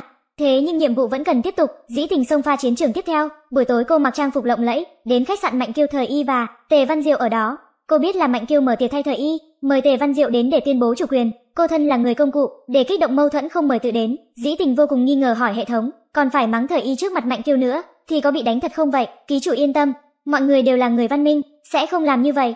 Dĩ tình chọn lựa tin tưởng hệ thống lần cuối, thế nhưng thực tế chứng minh, một tấm chân tình của cô cuối cùng đã trao lầm rồi. Nam phụ mạnh kiêu thấy cô đi vào, giọng điệu khó chịu hỏi, sao cô đến đây? Dĩ tình dùng chất giọng hống hách trả lời, anh mạnh. Căn phòng mà thời y luôn ở, lại là phòng tân hôn của tôi và anh Văn Diệu đó. Anh đã thế phải cảm ơn anh Văn Diệu đấy, sao có thể bỏ tôi lại? Tề Văn Diệu không kìm nén được mà lên tiếng, căn phòng đó không liên quan gì đến cô, là tôi mời thời y đến cho ở nhờ, mà cô mặt dày mới ở lại. Nói xong Tề Văn Diệu mới sực tỉnh, mình vốn không muốn nói mấy câu đó. Sao mà vừa mở miệng đã? Dĩ tình giả vờ đau lòng tiếng lên, anh Văn Diệu sao anh có thể nói như thế với em? Mạnh Kiêu thấy vậy chào phúng nói, thì ra ra mặt cô dày như vậy, do nuông chiều giết thành vậy à? Đúng là buồn cười. Tề Văn Diệu nghe không lọt tai câu này, cô ấy thế nào? Còn đến lượt cậu lắm mồm sao? Hai người đàn ông đột nhiên đối đầu gay gắt, không khí dương cung bạt kiếm, dĩ tình bên cạnh thấy mà cũng đờ người, chuyện gì vậy? Nam chính nam phụ bắt đầu giằng co, nữ chính thiện lương yếu đuối thời y tiến lên, kéo cánh tay của nam phụ khuyên ngăn, anh trai đừng cãi nữa. Đàn chị cô ấy cũng là khách, màn kịch của dĩ tình đã tới, cô nghiêng người bước lên mỉa mai, thời y cô bây giờ bước ra, tỏ vẻ mình thiện lương quan tâm, lúc cô quyến rũ anh Văn Diệu, cũng là cái bộ dáng bạch liên hoa này sao? Thời y còn chưa lên tiếng, mạnh kêu liền xông ra, hung hăng tát dĩ tình một bạt tay, dĩ tình che lấy khuôn mặt sưng đỏ không dám tin hỏi, anh dám đánh tôi? Nhân vật nhỏ trong lòng nổi điên, hệ thống, đã nói sẽ không có ai bị thương mà, nhưng dĩ tình chưa ủy khuất được quá 3 giây, Tề Văn Diệu không hề do dự ra tay, thay cô dạy dỗ lại, kịch bản xuất hiện sai sót nghiêm trọng. Xin ký chủ nhanh chóng sửa đổi. Dĩ tình khóc không ra nước mắt, chỉnh sửa kiểu gì đây, chi bằng ngươi bảo ta lại ra giữa rồi ăn đấm chung đi. Lúc này Tề Văn Diệu không biết đánh nhau, lại bùng nổ sức mạnh kinh người, mơ hồ chiếm thế thượng phong, nữ chính bên cạnh nôn nóng dậm chân, vẫn luôn bảo hai người đừng đánh nữa, kết quả hết hơi, ngất xỉu. Hết cách tiểu thuyết xây dựng nữ chính, cơ thể suy nhược, nhưng vẫn kiên cường thiện lương. Mạnh Kiêu vội vàng tiến lên lo lắng đỡ thời y dậy, Tề Văn Diệu không quan tâm chuyện đó, còn muốn đuổi đánh nam phụ, lại bị Dĩ Tình ngăn cản. Anh Văn Diệu đừng đánh nữa, ngừng tay. Nam chính quả nhiên nghe lời dừng tay, trong lòng Dĩ Thanh tràn đầy nghi vấn, mình nói chuyện dễ sai bảo vậy sao? Không đúng, anh dù sao cũng phải quan tâm thời y chứ. Bốn người cùng đến bệnh viện, thời y vừa tỉnh lại, đã tìm Tề Văn Diệu hỏi han, xếp Tề vết thương của anh vẫn ổn chứ? Nhìn cánh tay kéo lấy xếp Tề của Dĩ Thanh, trong lòng thời y có chút không cam lòng, giống như vị trí đó vốn nên là của cô ấy. Dĩ Tình ra sức diễn vai nữ phụ độc ác, tay thì đang khoác lên Mạnh Kiêu, mắt thì nhìn chằm chằm anh Văn Diệu, thời y cô không biết xấu hổ sao? Nam phụ Mạnh Kiêu lớn giọng quát, "Trình Dĩ Tình cô im mồm cho tôi." Tiếng nói này ảnh hưởng đến những người khác trong bệnh viện, Dĩ Tình dù nói tiếng tăm chẳng ra sao cả, may mà diễn xuất ổn nên vẫn có không ít người hâm mộ. Mọi người vây quanh muốn xin chữ ký và chụp hình chung, Dĩ Tình kiên nhẫn bảo mọi người yên tĩnh chút đã, sau đó nói với y tá muốn một gian phòng yên tĩnh, thỏa mãn yêu cầu của từng fan. Tề Văn Diệu chưa hề thấy quá trình Dĩ Tình như vậy, dường như cô ấy như vậy mới là con người chân thật. Dịu dàng tỏa sáng, lương thiện, sau khi tiễn bạn fan cuối cùng, Dĩ Tình thỏa mãn vươn cánh tay đã cứng đờ, ký chủ, hành động của cô đã chiếm hết danh tiếng của nữ chính, rất dễ dẫn đến kịch bản xảy ra sai sót. Dĩ Tình phản bác trả lời, có người thích tôi, tôi thỏa mãn sự yêu thích của họ, có vấn đề gì sao? Người bọn họ thích không phải là cô, là Trình Dĩ Tình. Dĩ Tình nhất thời đen mặt, Trình Dĩ Tình gốc vốn không ai thích, người bọn họ thích bây giờ là Trình Dĩ Tình của hiện tại, là tôi. Tề Văn Diệu bên cạnh nghe thấy vậy là hốt hoảng trong lòng, Trình Dĩ Tình gốc, Trình Dĩ Tình hiện tại là có ý gì? Trong nháy mắt trong đầu anh xẹt qua đủ kiểu suy đoán, đánh cháo, âm mưu, hay là phần tử ngoài vòng luật pháp có ý đồ chiếm đoạt tài sản nhà họ Trình, nghĩ ngợi một lúc nhưng lại nhịn được, ngại ngùng giải thích, "Xin lỗi, chỉ là nhìn thấy cô mấy cọng tóc bạc của cô." Chàng trai đưa tay kéo ra, Dĩ Trình đau đớn kêu lớn, nhân vật nhỏ trong lòng tức giận lật bàn, "Đàn ông thối anh bị điên à? Đó là một cọng tóc đen mà." Một sợi tóc đen đó, Tề Văn Diệu giả vờ bình tĩnh quay đầu, "Ồ, nhìn lầm á." Nhân lúc cô không chú ý, nam chính lẳng lặng nhét sợi tóc vào túi, không thể hỏi cô ấy sẽ không nói thật. Hơn nữa, bây giờ vẫn không thể để cô ấy biết, mình có thể đọc được suy nghĩ của cô ấy. Tề Văn Diệu mang sợi tóc đó, làm xét nghiệm quan hệ cha con, kết quả cô ấy rõ ràng là cháu gái của ông nội Trình, nếu đã không bị đánh cháo, nhưng suy nghĩ hôm đó của cô ấy, rốt cuộc có ý nghĩa gì? Anh dù quen biết dĩ tình từ thuở nhỏ, nhưng lúc nhỏ rất chán ghét cô, chưa từng nghiêm túc liếc nhìn cô, cho nên không nhận ra cô có thay đổi gì. Tề Văn Diệu không khỏi hoài nghi, có phải mình đã nghĩ nhiều, không, nhất định là có gì đó khác. Hôm sau Dĩ Tình lại bị mắng chửi trên hot search, nói đêm qua tại bệnh viện, hai cô gái là cô và Thời Nghi dành một người đàn ông, nhìn thấy một đống bình luận ác ý bên dưới, lại có một người đang nói giúp cô. Trong lòng Dĩ Tình cảm thấy hài lòng, phát hiện trợ lý nhỏ lại gần, Dĩ Tình lập tức quay về vai nữ phụ độc ác, hung hăng phản nàn với cô ấy, đó là một con nhỏ dối trá, có chỗ nào mà hợp với anh Văn Diệu, rõ ràng tôi và anh Văn Diệu có hôn ước, Thời Y mới mà người ngoài, sau đó nhìn thấy Thời Y đi đường cũng lắc lư, không thể kiềm chế được hung hăng mắng, Đồ đàn bà hèn hạ do cô giở trò, chắc chắn là do cô làm. Tề Văn Diệu đột nhiên xuất hiện, bắt lấy Dĩ Tình, cô đang làm gì vậy? Dĩ Tình tức giận chất vấn Tề Văn Diệu, tôi bị hại thê thảm thế này, anh còn bảo vệ cô ta, sau đó bung tay của anh ta ra, đau lòng quát, tôi hận anh, anh Văn Diệu tôi hận anh. Nhìn thấy Dĩ Tình hòa khóc bỏ chạy, Tề Văn Diệu không nghe thấy tiếng lòng của cô, tưởng rằng cô thật sự đau lòng, anh muốn lập tức đuổi theo, nhưng bước chân như nặng ngàn cân, không di chuyển được. Trùng hợp lúc này Thời Y lung lay bước đến, ngất xỉu trước mặt anh, trong lòng Tề Văn Diệu như có một âm thanh, không ngừng thôi thúc anh, ôm cô ấy đi. Vì vậy anh không tự chủ được, đưa tay đỡ lấy thời y, dưới tác dụng lực của kịch bản, mọi người xung quanh cũng không ngừng dục anh, xếp tề anh mau đưa thời y đến bệnh viện đi, tề văn diệu giống như đã hao hết sức lực toàn thân, để đẩy thời y vào lòng, nhân viên công tác bên cạnh, bảo cậu ra đưa thời y đến bệnh viện, mà bản thân lại chạy theo hướng mà dĩ thỉnh biến mất, giọng nói đó là sao?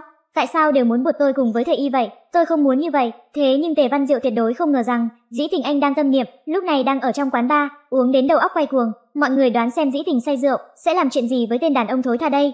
Cô gái theo đuổi nam chính 20 năm, đột nhiên mắng nói hận anh, sau đó đau lòng chạy đi, người đàn ông vội vàng lái xe đi tìm, nhưng cô gái không những không về nhà, ngay cả điện thoại cũng không nhấc máy. Chàng trai nôn nóng chỉ có thể liên lạc trợ lý của cô, thế nhưng người anh đang nghĩ về lúc này, đang uống say mềm, Đoạn này trong tiểu thuyết Trình Dĩ Tình sẽ buồn đau vì chuyện tình cảm, sau khi uống say được trợ lý nhỏ Giang Nhã tìm được, sau đó cô quý phá bảo Giang Nhã, dẫn cô đi tìm Tề Văn Diệu cầu xin tha thứ. Dĩ Tình nhìn rượu tây đầy bàn, đau đớn gào một tiếng, hệ thống nhiều rượu vậy, phải uống hết hả? Xin ký chủ nghiêm túc dựa theo sắp xếp của kịch bản. Dĩ Tình cảnh cáo hệ thống, ta nói với ngươi, ngộ nhỡ ta mà say, quên hết lời thoại nhiệm vụ, ngươi phải chịu hậu quả. Một khắc sau, Dĩ Tình đã choáng váng đầu óc, trong miệng thì thầm gì đó không rõ, trợ lý nhỏ sao mà còn chưa đến, khó chịu quá. Lúc này cửa bị hung hăng mở ra, Tề Văn Diệu bước nhanh xông vào, vừa đỡ người dậy, vừa chất vấn, ai cho cô uống rượu? Dĩ Tình nứt cụt một cái, nhìn Tề Văn Diệu bằng cặp mắt mơ màng nói, Giang Nhã cuối cùng em đã đến. Sau đó lặng trang chạy ra cửa. Giang Nhã đi, Giang Nhã đi. Chị muốn đi tìm Tề Văn Diệu, chị muốn tìm anh ta, nhưng một giây sau, cô liền bị thứ gì đó ụp lên đầu, Tề Văn Diệu bất đắc dĩ nói, ngôi sao nữ nổi tiếng say rượu ở quán bar, tin tức kiểu này mà truyền ra, cô lại phải bị mắng. Trong bãi đổ xe yên tĩnh không một bóng người, Dĩ Tình vừa lên xe, tức giận ném Âu phục xuống. Chán ghét nói một tiếng nóng. Tề Văn Diệu quan sát Dĩ Tình đã uống say, nhìn dáng vẻ khuôn mặt nhỏ nhắn đỏ bừng, đang thở phì phì của cô, cô gái ngốc này cũng thật đáng yêu. Còn chưa đợi anh ta thu lại ánh mắt, Dĩ Tình lại đột nhiên xoay đầu nhìn chằm chằm anh, sau 3 giây đối mặt, Dĩ Tình nhào lên cánh tay anh, anh đẹp trai quá, em thích anh. Tề Văn Diệu vừa định xấu hổ, nào ngờ Dĩ Tình lại nói tiếp, em thích mấy anh đẹp trai. Chỉ cần đẹp trai, em thích hết. Tề Văn Diệu tức giận dùng sức vung tay cô ra, hai người cuối cùng về đến nhà, Tề Văn Diệu bế ngang cô gái ngốc nghếch này đến giường, Dĩ Tình vừa nằm xuống hét to một tiếng, "Uống, uống tiếp." Tề Văn Diệu cạn lời ghim chặt tứ chi đang múa loạn xạ của cô, Dĩ Tình gắng gượng mở mắt, "Anh Văn Diệu." Sau đó giống như nhớ ra chuyện gì, lập tức bật dậy quỳ trên giường, đọc lời thoại. "Anh tha thứ cho em được không?" Tề Văn Diệu nắm chặt nắm đấm, "Cô nhận ra tôi à?" Dĩ Tình bắt đầu diễn xuất nhiệt tình, "Anh là người em yêu nhất, cho dù là hóa thành cho em cũng nhận ra, sao lại có thể không nhận ra?" Tề Văn Diệu lạnh nhạt ò một tiếng nghĩ thầm, diễn xuất ô dề quá, tôi tin cô mới lạ. Lúc này Dĩ Tình chợt bổ nhào đến, nước mắt rưng rưng cầu xin, anh Văn Diệu em thật sự sai rồi, anh đừng lạnh lùng với em như vậy, được không? Sau đó chu môi giả vờ muốn hôn. Tề Văn Diệu sững sốt một lát, cứ thế nhìn cô hôn mình. Ánh mắt Dĩ Tình hoảng hốt, lấy lại lý trí điên cuồng hò hét trong lòng, chuyện gì vậy? Hắn không phải sẽ tránh sao? Nụ hôn đầu sau hơn 20 năm từ lúc lọt lòng của mình, mất rồi.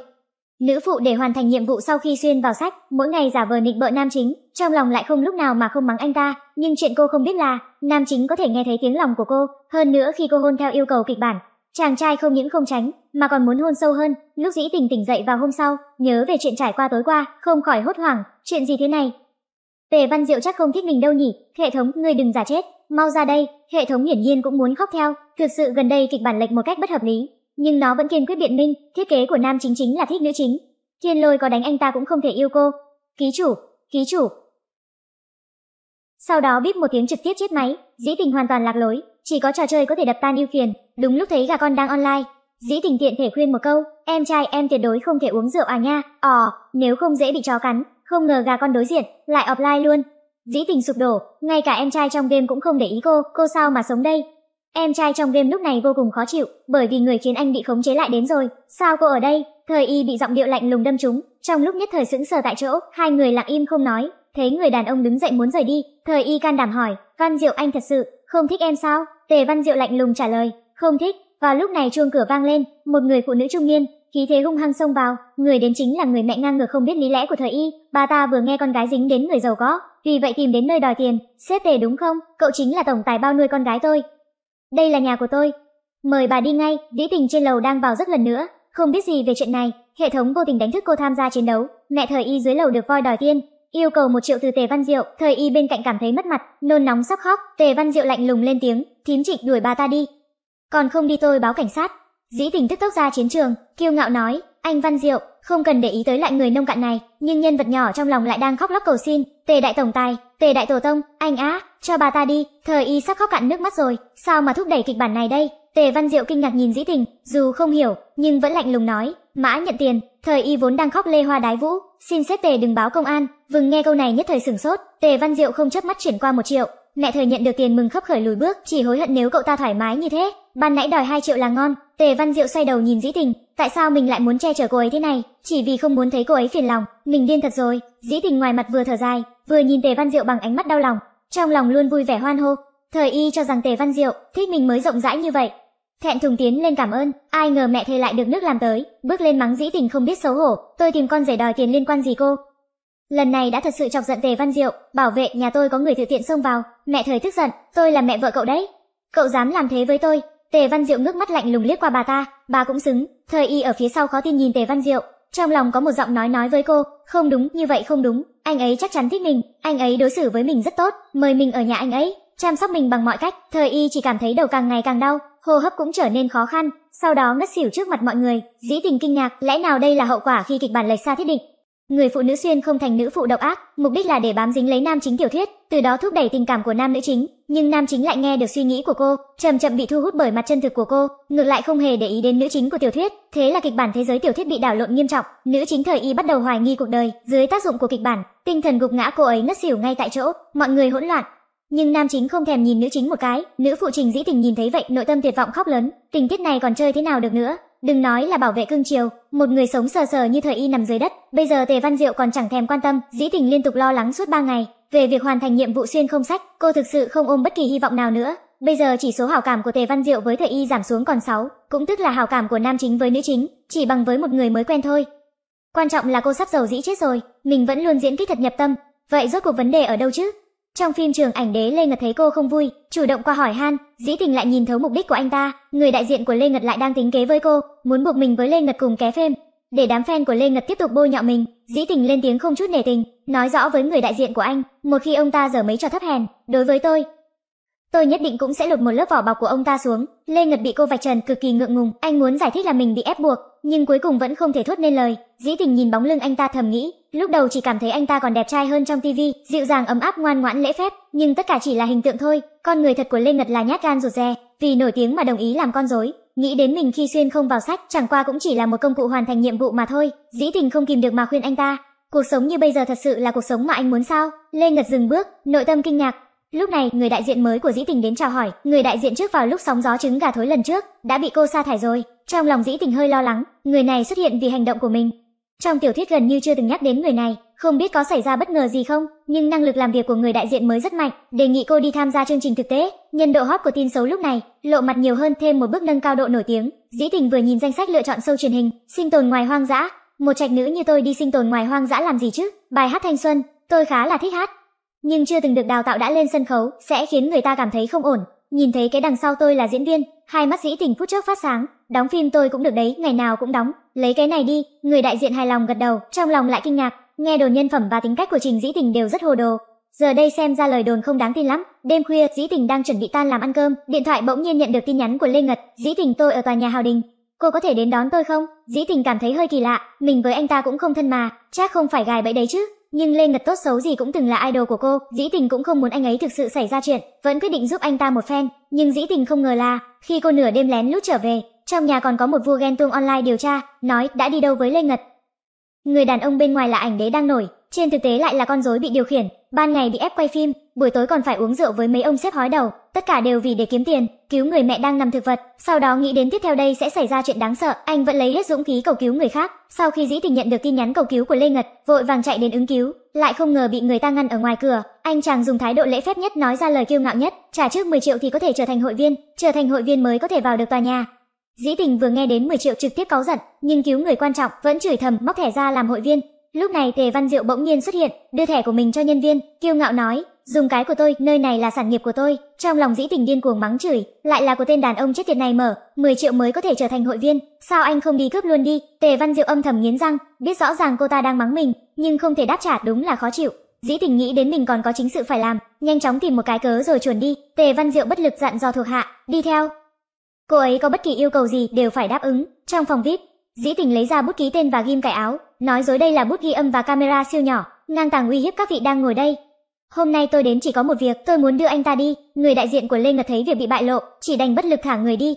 Nhưng trong lòng lại âm thầm ghi thù Dĩ Tình, Lê Ngật bước ra khỏi phòng VIP trong lòng vô cùng cảm động, anh ta không ngờ Dĩ Tình sẽ thật sự mạo hiểm đến cứu mình. Lê Ngật thành khẩn cảm ơn cô và hạ quyết tâm sẽ giải trừ hợp đồng với công ty đang kiểm soát anh. Dĩ Tình ngồi trong xe cổ vũ anh ta, khi cô về nhà đã là đêm khuya rồi, cô vừa vào nhà đã nghe thấy tiếng của Tề Văn Diệu vọng đến, đi đâu đấy? Dĩ tình không ngờ anh ta vẫn chưa ngủ, thầm mắng trong lòng, tên chết tiệt đang chất vấn tôi đấy à, tôi đi đâu thì liên quan gì đến anh, dĩ tình không thèm để ý, nhanh tay nhanh chân đi về phía phòng mình, đáng tiếc tề văn diệu lại không định tha cho cô như vậy, trực tiếp chặn cô lại chất vấn, đi đâu với Lê Ngật.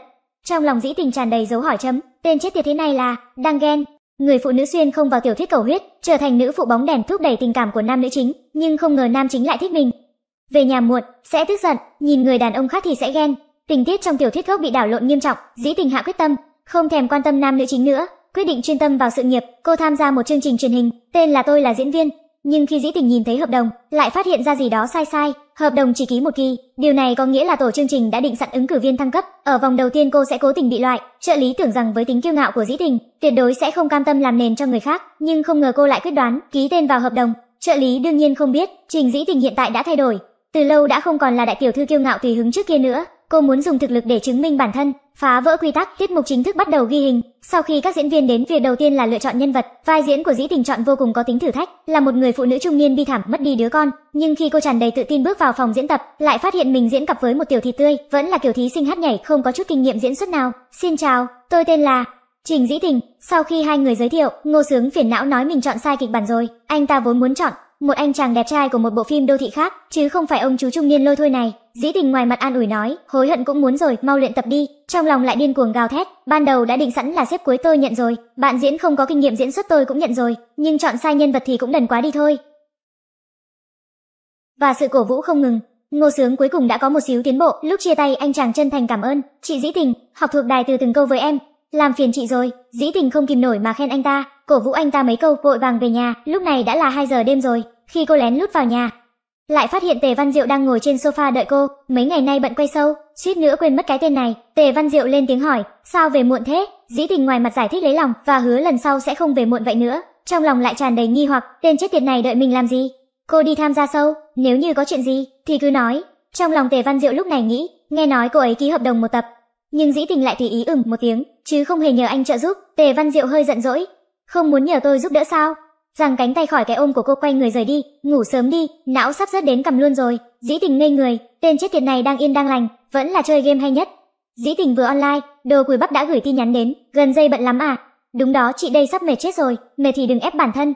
Gia cảnh của chị chắc không tồi, có thể nhờ sự giúp đỡ của người trong nhà, biết được suy nghĩ thật sự của cô. Tề Văn Diệu không khỏi thở dài một hơi, không có ý nghĩa sao? Thế nên không nhờ tôi giúp đỡ, là bởi vì muốn tự mình giành lấy. Nghĩ hồi lâu, sau đó gọi điện cho trợ lý, bảo trợ lý dừng việc liên hệ với tổ chương trình, không cần bảo đảm cô ấy thăng cấp nữa, lại âm thầm điều tra bạn diễn của Dĩ Tình, nhìn thấy dáng vẻ mặt hoa da phấn của người này, không khỏi ghen tuông. Trước đây các video cô ấy xem cũng là kiểu nam sinh thế này, cô ấy thích kiểu này sao? Thẩm mỹ kiểu gì thế? Ở bên kia, Dĩ Tình bất chợt hắt xì hơi. Ai đang mắng mình thế?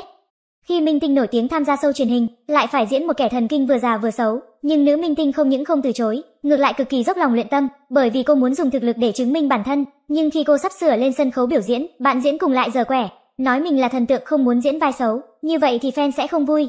Dĩ Tình kìm chế cơn giận chất vấn, chúng ta đã tập dượt ba ngày rồi, vừa nãy cậu mới biết, đây là một người đàn ông trung niên lôi thôi à? Ngô Sướng nhỏ giọng lầm bầm, không phải em tưởng là có thể bàn bạc. Dĩ Tình cuối cùng không đè nén nổi cơn giận, tôi cho cậu hai lựa chọn, một hóa trang chúng ta lên sân khấu, hai cậu đừng diễn nữa. Ngô Sướng không ngờ Dĩ Tình lại tức giận như vậy, nghĩ đến mấy hôm nay cô kiên nhẫn hướng dẫn mình, cậu ta kéo Dĩ Tình đang thất vọng định đi lại, em hóa trang, bây giờ em đi hóa trang ngay. Lúc này trên sân khấu, thí sinh của nhóm trước đã biểu diễn xong, đạo diễn nổi tiếng Uông Chí nhận xét thí sinh, diễn chẳng ra cái gì cả, từ lúc bắt đầu chương trình đến bây giờ, chưa từng có đội thí sinh nào có thể lọt vào mắt của ông ấy. Lúc này MC bắt đầu giới thiệu, tiếp theo xin mời Trình Dĩ Tình, Ngô Sướng, họ sẽ diễn, chị gái tôi là một kẻ thần kinh đó, Hai người lần lượt diễn vai chị gái Thạch Tú Nghiên, một phụ nữ trung niên vì mất đi con gái mà thần kinh không bình thường, và em trai Thạch Sam, người đàn ông trung niên bị chị gái làm khổ không chịu nổi trách nhiệm nặng nề. Bước màn chậm chậm kéo ra, một người phụ nữ trung niên gầy gò, ôm chặt một con búp bê trong lòng, không ngừng gọi. Huệ Anh con gái của mẹ con ở đâu? Mẹ ở đây này. Chỉ trong 10 giây, đã thu hút mọi cảm xúc của mọi người. Lúc này em trai Thạch Sam xuất hiện, chị gái vội vàng nhào tới, Huệ Anh bị giết rồi. Chị phải báo thù cho con gái, chị chị bình tĩnh lại đi, Chị tưởng em không muốn báo thù sao? Em trai nhẫn nhịn nhiều năm phút trước cảm xúc bùng nổ, ánh mắt của người phụ nữ từ phẫn nộ chuyển thành sợ hãi, cuối cùng lại trở về trống rỗng, diễn giống y như đúc vai một người mẹ thần kinh không bình thường. Biểu diễn xong cả trường quay vỗ tay như sấm, đến cả đạo diễn Uông Chiết cũng đứng dậy khen ngợi, chân thực quá, diễn quá tuyệt. Cho đến hiện tại, bạn là người diễn xuất tốt nhất trên sân khấu, không có ai hơn. Tôi đã xem tài liệu của bạn, bạn mới 25 tuổi đúng chứ? Hậu sinh khảo ý, bạn rất có thiên phú diễn xuất, chắc chắn có thực lực vươn đến ảnh hậu. Dĩ Tình cung kính cúi người cảm ơn đạo diễn Uông, trong lòng kích động la hét, thành công rồi, cô đã chứng minh bản thân bằng thực lực. Hai đội thí sinh cùng lên sân khấu, đợi ban giám khảo bỏ phiếu, nhưng vào lúc này, các ban giám khảo lại nhận được chỉ thị của tổ chương trình, bảo họ chọn đội Tống gia thăng cấp, thế là hai vị ban giám khảo làm trái lòng mình bỏ phiếu cho người diễn xuất kém Tống gia. Chỉ có đạo diễn Uông Cương Trực lựa chọn Dĩ Tình, khán giả dưới sân khấu bàn tán xôn xao, làm sao có thể, Trình Dĩ Tình diễn tốt như thế, có sắp xếp chắc chắn là có sắp xếp. Hai vị ban giám khảo không muốn đắc tội với tư bản đằng sau Tống gia, cố tình bới móc, nói vì Ngô Sướng diễn quá tệ, dẫn đến hai người diễn không đủ ăn ý. Ngô Sướng mắt rưng rưng xin lỗi, chị Dĩ Tình đều là em liên lụy đến chị. Dĩ Tình cổ vũ cậu, đâu có chúng ta đã thể hiện rất tốt, thực ra trong lòng cô thật sự rất thỏa mãn, cho dù có sắp xếp bị loại cũng chẳng sao, có sự khẳng định của đạo diễn Uông chuyến này đáng rồi. Lúc này MC tuyên bố kết quả PK, chúc mừng đội Tống gia thăng cấp thành công, mời Trình Dĩ Tình vào ghế chờ đợi. Bỗng nhiên đạo diễn Uông lớn tiếng ngắt lời MC, Trình Dĩ Tình là cấp S. Ông ấy đưa thẻ cấp S mà chỉ mình mới có bầu cho Dĩ Tình, cứ như vậy Dĩ Tình thành công thăng cấp. Sau khi kết thúc ghi hình, khán giả bị chinh phục bởi diễn xuất của cô, vây quanh cô, hoan hô cho cô. Trong lòng Dĩ Tình vô cùng cảm động, cuối cùng mình đã không chỉ là một công cụ nữa, ở thế giới này cô cũng có cảm giác thuộc về, nhìn kìa đây chẳng phải là những người yêu thích cô sao, nhưng cô chưa kịp vui mừng lâu, hệ thống bỗng nhiên phát ra chỉ dẫn gấp, tình tiết sắp khởi động. Mời người chơi nhanh chóng đến địa điểm nhiệm vụ. Dĩ tình nhanh chóng rời khỏi đây về nhà, bản thân mải mê sự nghiệp, suýt nữa quên mất nhiệm vụ của nữ phụ ác độc, nhưng khi cô đến địa điểm nhiệm vụ thì lại ngây người, ai có thể nói cho cô biết, bông sen trắng như cô ấy sao lại trở nên ác độc vậy? Tổng tài bá đạo ngày nào cũng bị mắng là tên khốn nạn, nhưng anh ta không chỉ không đáp trả, trái lại lại thích người mắng mình, biết được người phụ nữ đi gặp người đàn ông khác, mình ở nhà bực mình ghen tuông. Thấy cô 3 giờ sáng vẫn chưa về, lo lắng cô gặp nguy hiểm gọi mười mấy cuộc điện thoại, lại không ngờ đối phương vì quay sâu quá trễ nên ở luôn khách sạn không về nhà nữa. Dĩ Tình khó nhọc ngoi lên khỏi giường, sạc pin điện thoại, lúc này mới phát hiện ra Tề Văn Diệu gọi nhiều như thế, trả lời tin nhắn qua loa, lại đợi một lúc, thấy anh vẫn không trả lời, Dĩ Tình nghĩ chắc anh ta ngủ rồi, đã 3 giờ, Ai ngờ lúc này lại nghe thấy có người gõ cửa, người đến lại là Tề Văn Diệu, lần này cô ấy thật sự kinh ngạc, "Anh Văn Diệu, sao anh lại đến đây? Đến đưa ít đồ cho em." Nói xong bèn vứt một cái túi to vào người cô, "Nghỉ ngơi sớm đi, tôi đi trước đây." Sau khi anh ta đi, Dĩ Tình đổ hết đống đồ trong túi ra, "Khá lắm, đồ cô hay dùng đều ở đây rồi, cọ trang điểm, sắt nẻ, đồ ngủ, vịt mắt đều có." Dĩ Tình cảm động trước sự quan tâm này, Tề Văn Diệu hiền thục, quả đúng là tên khốn nạn giết tôi đi. Hôm sau quay phim xong, Dĩ Tình vội vàng về nhà, lại phải làm trái lòng diễn vai nữ phụ ác độc rồi. Trong lòng cô một trăm lần không bằng lòng. Lúc này thời y bị đuổi đi rất nhiều ngày, bỗng nhiên xuất hiện ở cầu thang. Dĩ Tình nhanh chóng đeo mặt nạ nữ phụ ác độc lên, ngạo mạn lên tiếng, cô về đây làm gì? Đừng mơ trèo cao đến anh Văn Diệu nữa. Cô không xứng. Không ngờ nữ chính ngây thơ lại đáp trả. Tôi không xứng, tôi kém cỏi. Cô sinh ra đã phú quý vinh hoa, nhưng cô bám dính lấy anh Văn Diệu 10 năm, anh ta có yêu cô không? Không hề, người thật sự không xứng là cô mới đúng. Dĩ tình trong lòng hỗn loạn, theo nguyên tắc, đoạn này mình và thời y xảy ra tranh cãi kịch liệt, tiếp đó mình phải. Tiếng nhắc nhở của hệ thống vang lên, thang đẩy cô ấy, cô phải đẩy cô ấy xuống tầng. Dĩ tình trần trừ không ra tay nổi, cô đang dằn vặt trong lòng nói chuyện với hệ thống, không được, đây là mưu sát, tôi không làm nổi việc này, thời y còn ép sát. Tức giận rồi sao, ai bảo cô không được yêu quý chứ? Không bằng cả người kém cỏi như tôi. Ngươi chơi, đây chỉ là nhiệm vụ, thời y sẽ không sao. Vào lúc dĩ tình đang do dự, cánh tay đặt trên vai cô bỗng nhiên buông lỏng, cả người thời y ngã thẳng về phía cầu thang, dĩ tình kinh ngạc, mình không hề chạm vào cô ấy, thời y ngã xuống cầu thang bất tỉnh nhân sự, thời y hoảng loạn trong lòng, vội vàng chạy xuống xem tình hình cô ta, vừa lấy điện thoại ra gọi 120, vừa hỏi hệ thống, tình tiết đã ra thành thế này, nữ chính thời y thật sự sẽ không sao chứ? Khi cô đang lo lắng hoảng sợ, Tề Văn Diệu nghe thấy tiếng động vội vàng chạy đến, Dĩ Tình lúc này mới nhớ ra đoạn này còn có tình tiết, trong tiểu thuyết Tề Văn Diệu nhìn thấy Thời Y ngã bị thương, thì đã ngay lập tức nghĩ là tôi làm, sau đó đuổi tôi ra khỏi nhà, nhưng Dĩ Tình không ngờ rằng Tề Văn Diệu lại không hề chất vấn một câu, ngược lại quan tâm an ủi cô, "Đừng sợ có tôi đây." Hệ thống lập tức báo sai sót, người chơi kịch bản xảy ra sai lệch. Hãy nhanh chóng xoay chuyển đi. Trong bệnh viện, Thời Y được bác sĩ chẩn đoán là không có gì đáng ngại, trong phòng bệnh chỉ còn lại bốn người là nam nữ chính, nam nữ phụ, là tên ngu muội trung thành với nữ chính. Mạnh kêu lên tiếng chất vấn Dĩ Tình, vì sao phải ra tay hại Thời Y? Dĩ Tình chưa kịp trả lời, Thời Y đã dần tỉnh lại, nhưng cô ta vừa mở miệng, lại gọi tên của Tề Văn Diệu, Mạnh kêu đau đớn trong lòng, nhưng vẫn không khỏi đau xót quan tâm hỏi, "Y Y em tỉnh rồi, Em nói xem đã xảy ra chuyện gì, anh sẽ không để người khác bắt nạt em đâu. Không ngờ thời y không hề do dự chỉ vào dĩ tình, là cô ta đẩy tôi xuống cầu thang. Trong lòng dĩ tình ngàn dấu chấm hỏi, nàn ý, cái quần què gì vậy? Cô lên tiếng tự giải thích, tôi không đẩy cô ta, là cô ta tự mình rơi xuống. Mạnh kêu không hề tin. Anh ta chỉ vào dĩ tình mắng, lẽ nào y y lại lấy tính mạng để hãm hại cô? Sao lại có người phụ nữ ác độc như cô chứ? Dĩ tình chưa kịp phản bác, Tề Văn Diệu đã chắn trước mặt cô, anh có nhìn thấy sự việc xảy ra không? Tôi cảnh cáo anh, anh dám động vào một ngón tay của cô ấy, tôi chắc chắn sẽ không dễ dàng tha cho anh đâu. Dĩ Tình nhìn bóng lưng của người đàn ông tâm trạng phức tạp, từ đầu đến cuối anh ta không hề hỏi mình chuyện này là thế nào, lại một lòng đứng về phía mình. Anh ta tin tưởng mình vậy sao? Trái tim bé nhỏ của Dĩ Tình đập bình bịch, tên đàn ông khốn nạn này sự hấp dẫn chết tiệt, hệ thống giám sát được cảm xúc dao động lên tiếng nhắc nhở, người chơi vui lòng khống chế cảm xúc của mình.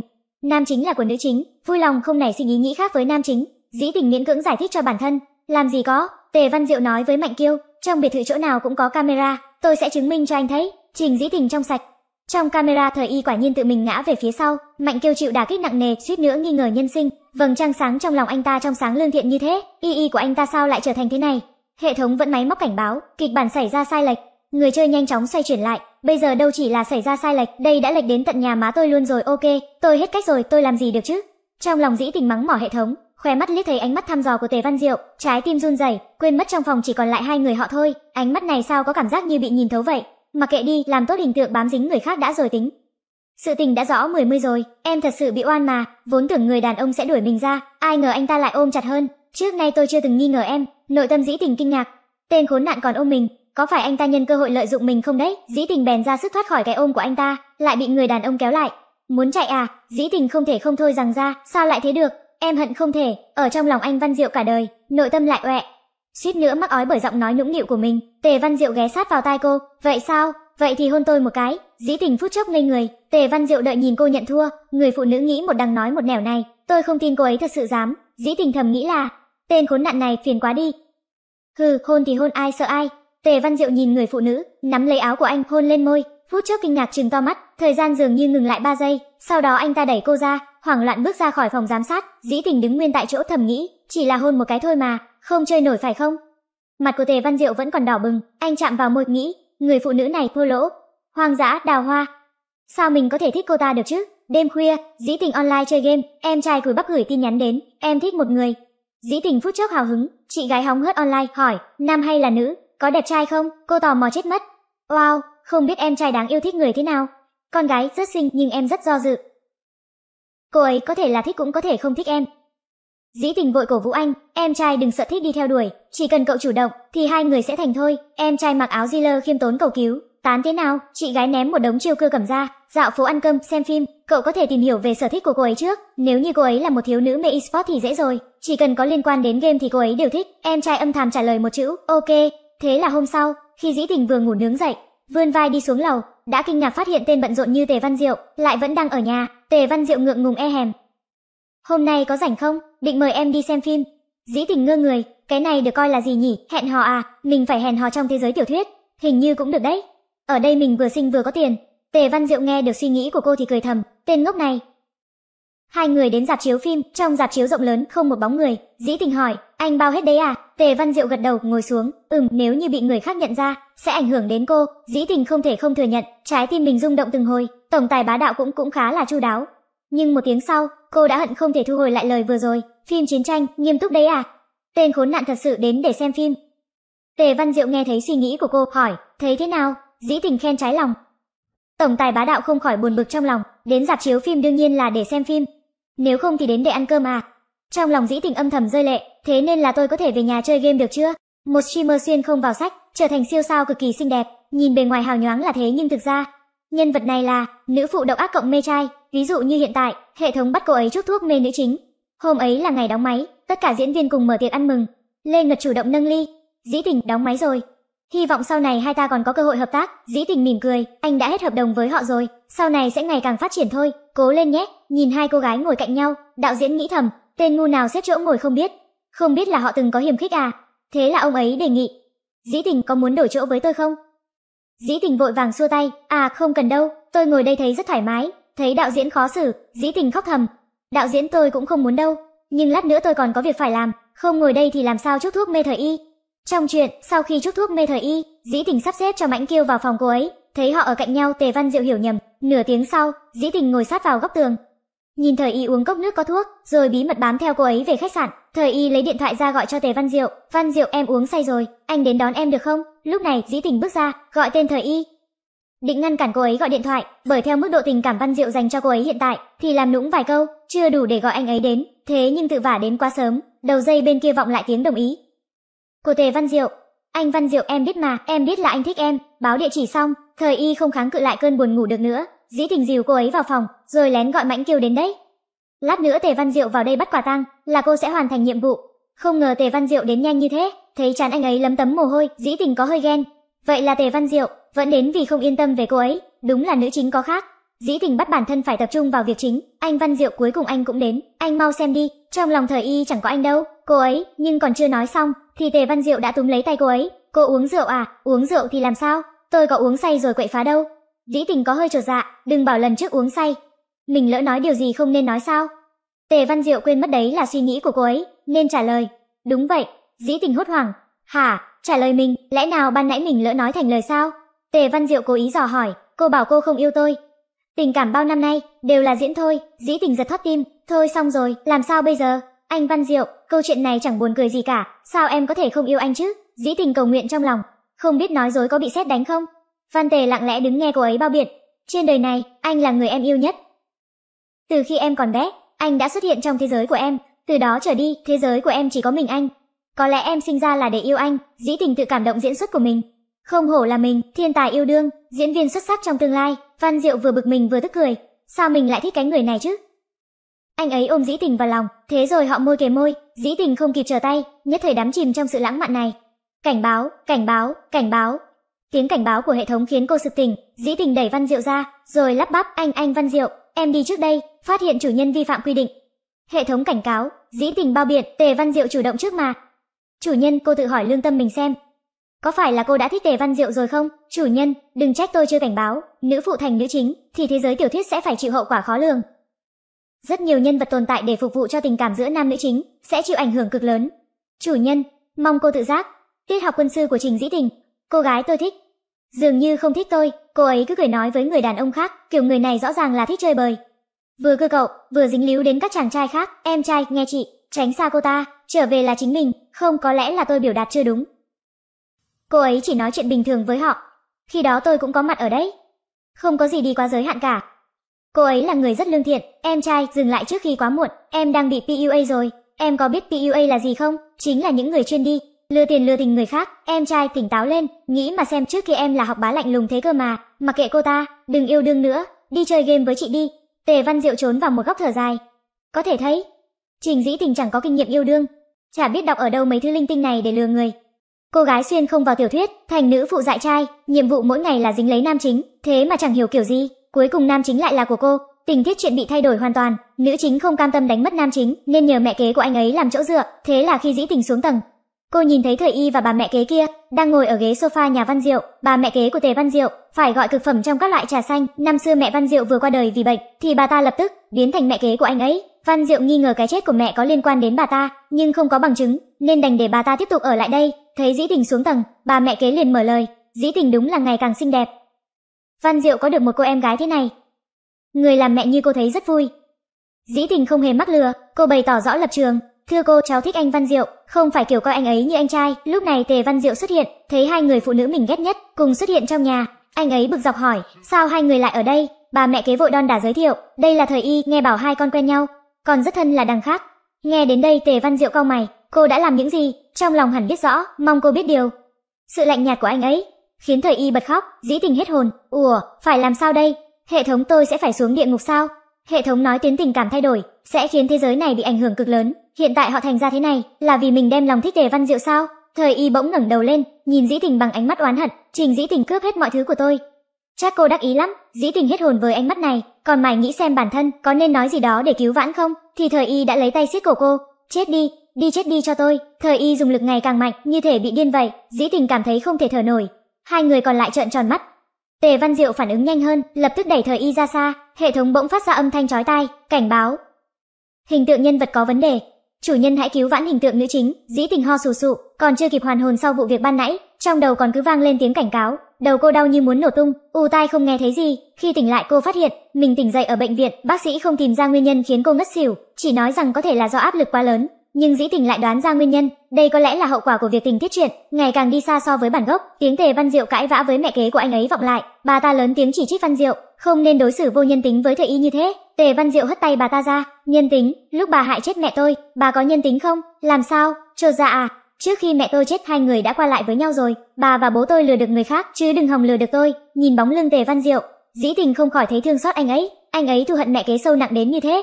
Vậy mà dưới ngòi bút của tác giả thì lại bị gạt sang một bên để có một cái kết viên mãn. Tác giả viết rằng, sau một thời gian dài được thời y cảm hóa, Văn Diệu đã chấp nhận mẹ kế, cả gia đình sống hạnh phúc bên nhau.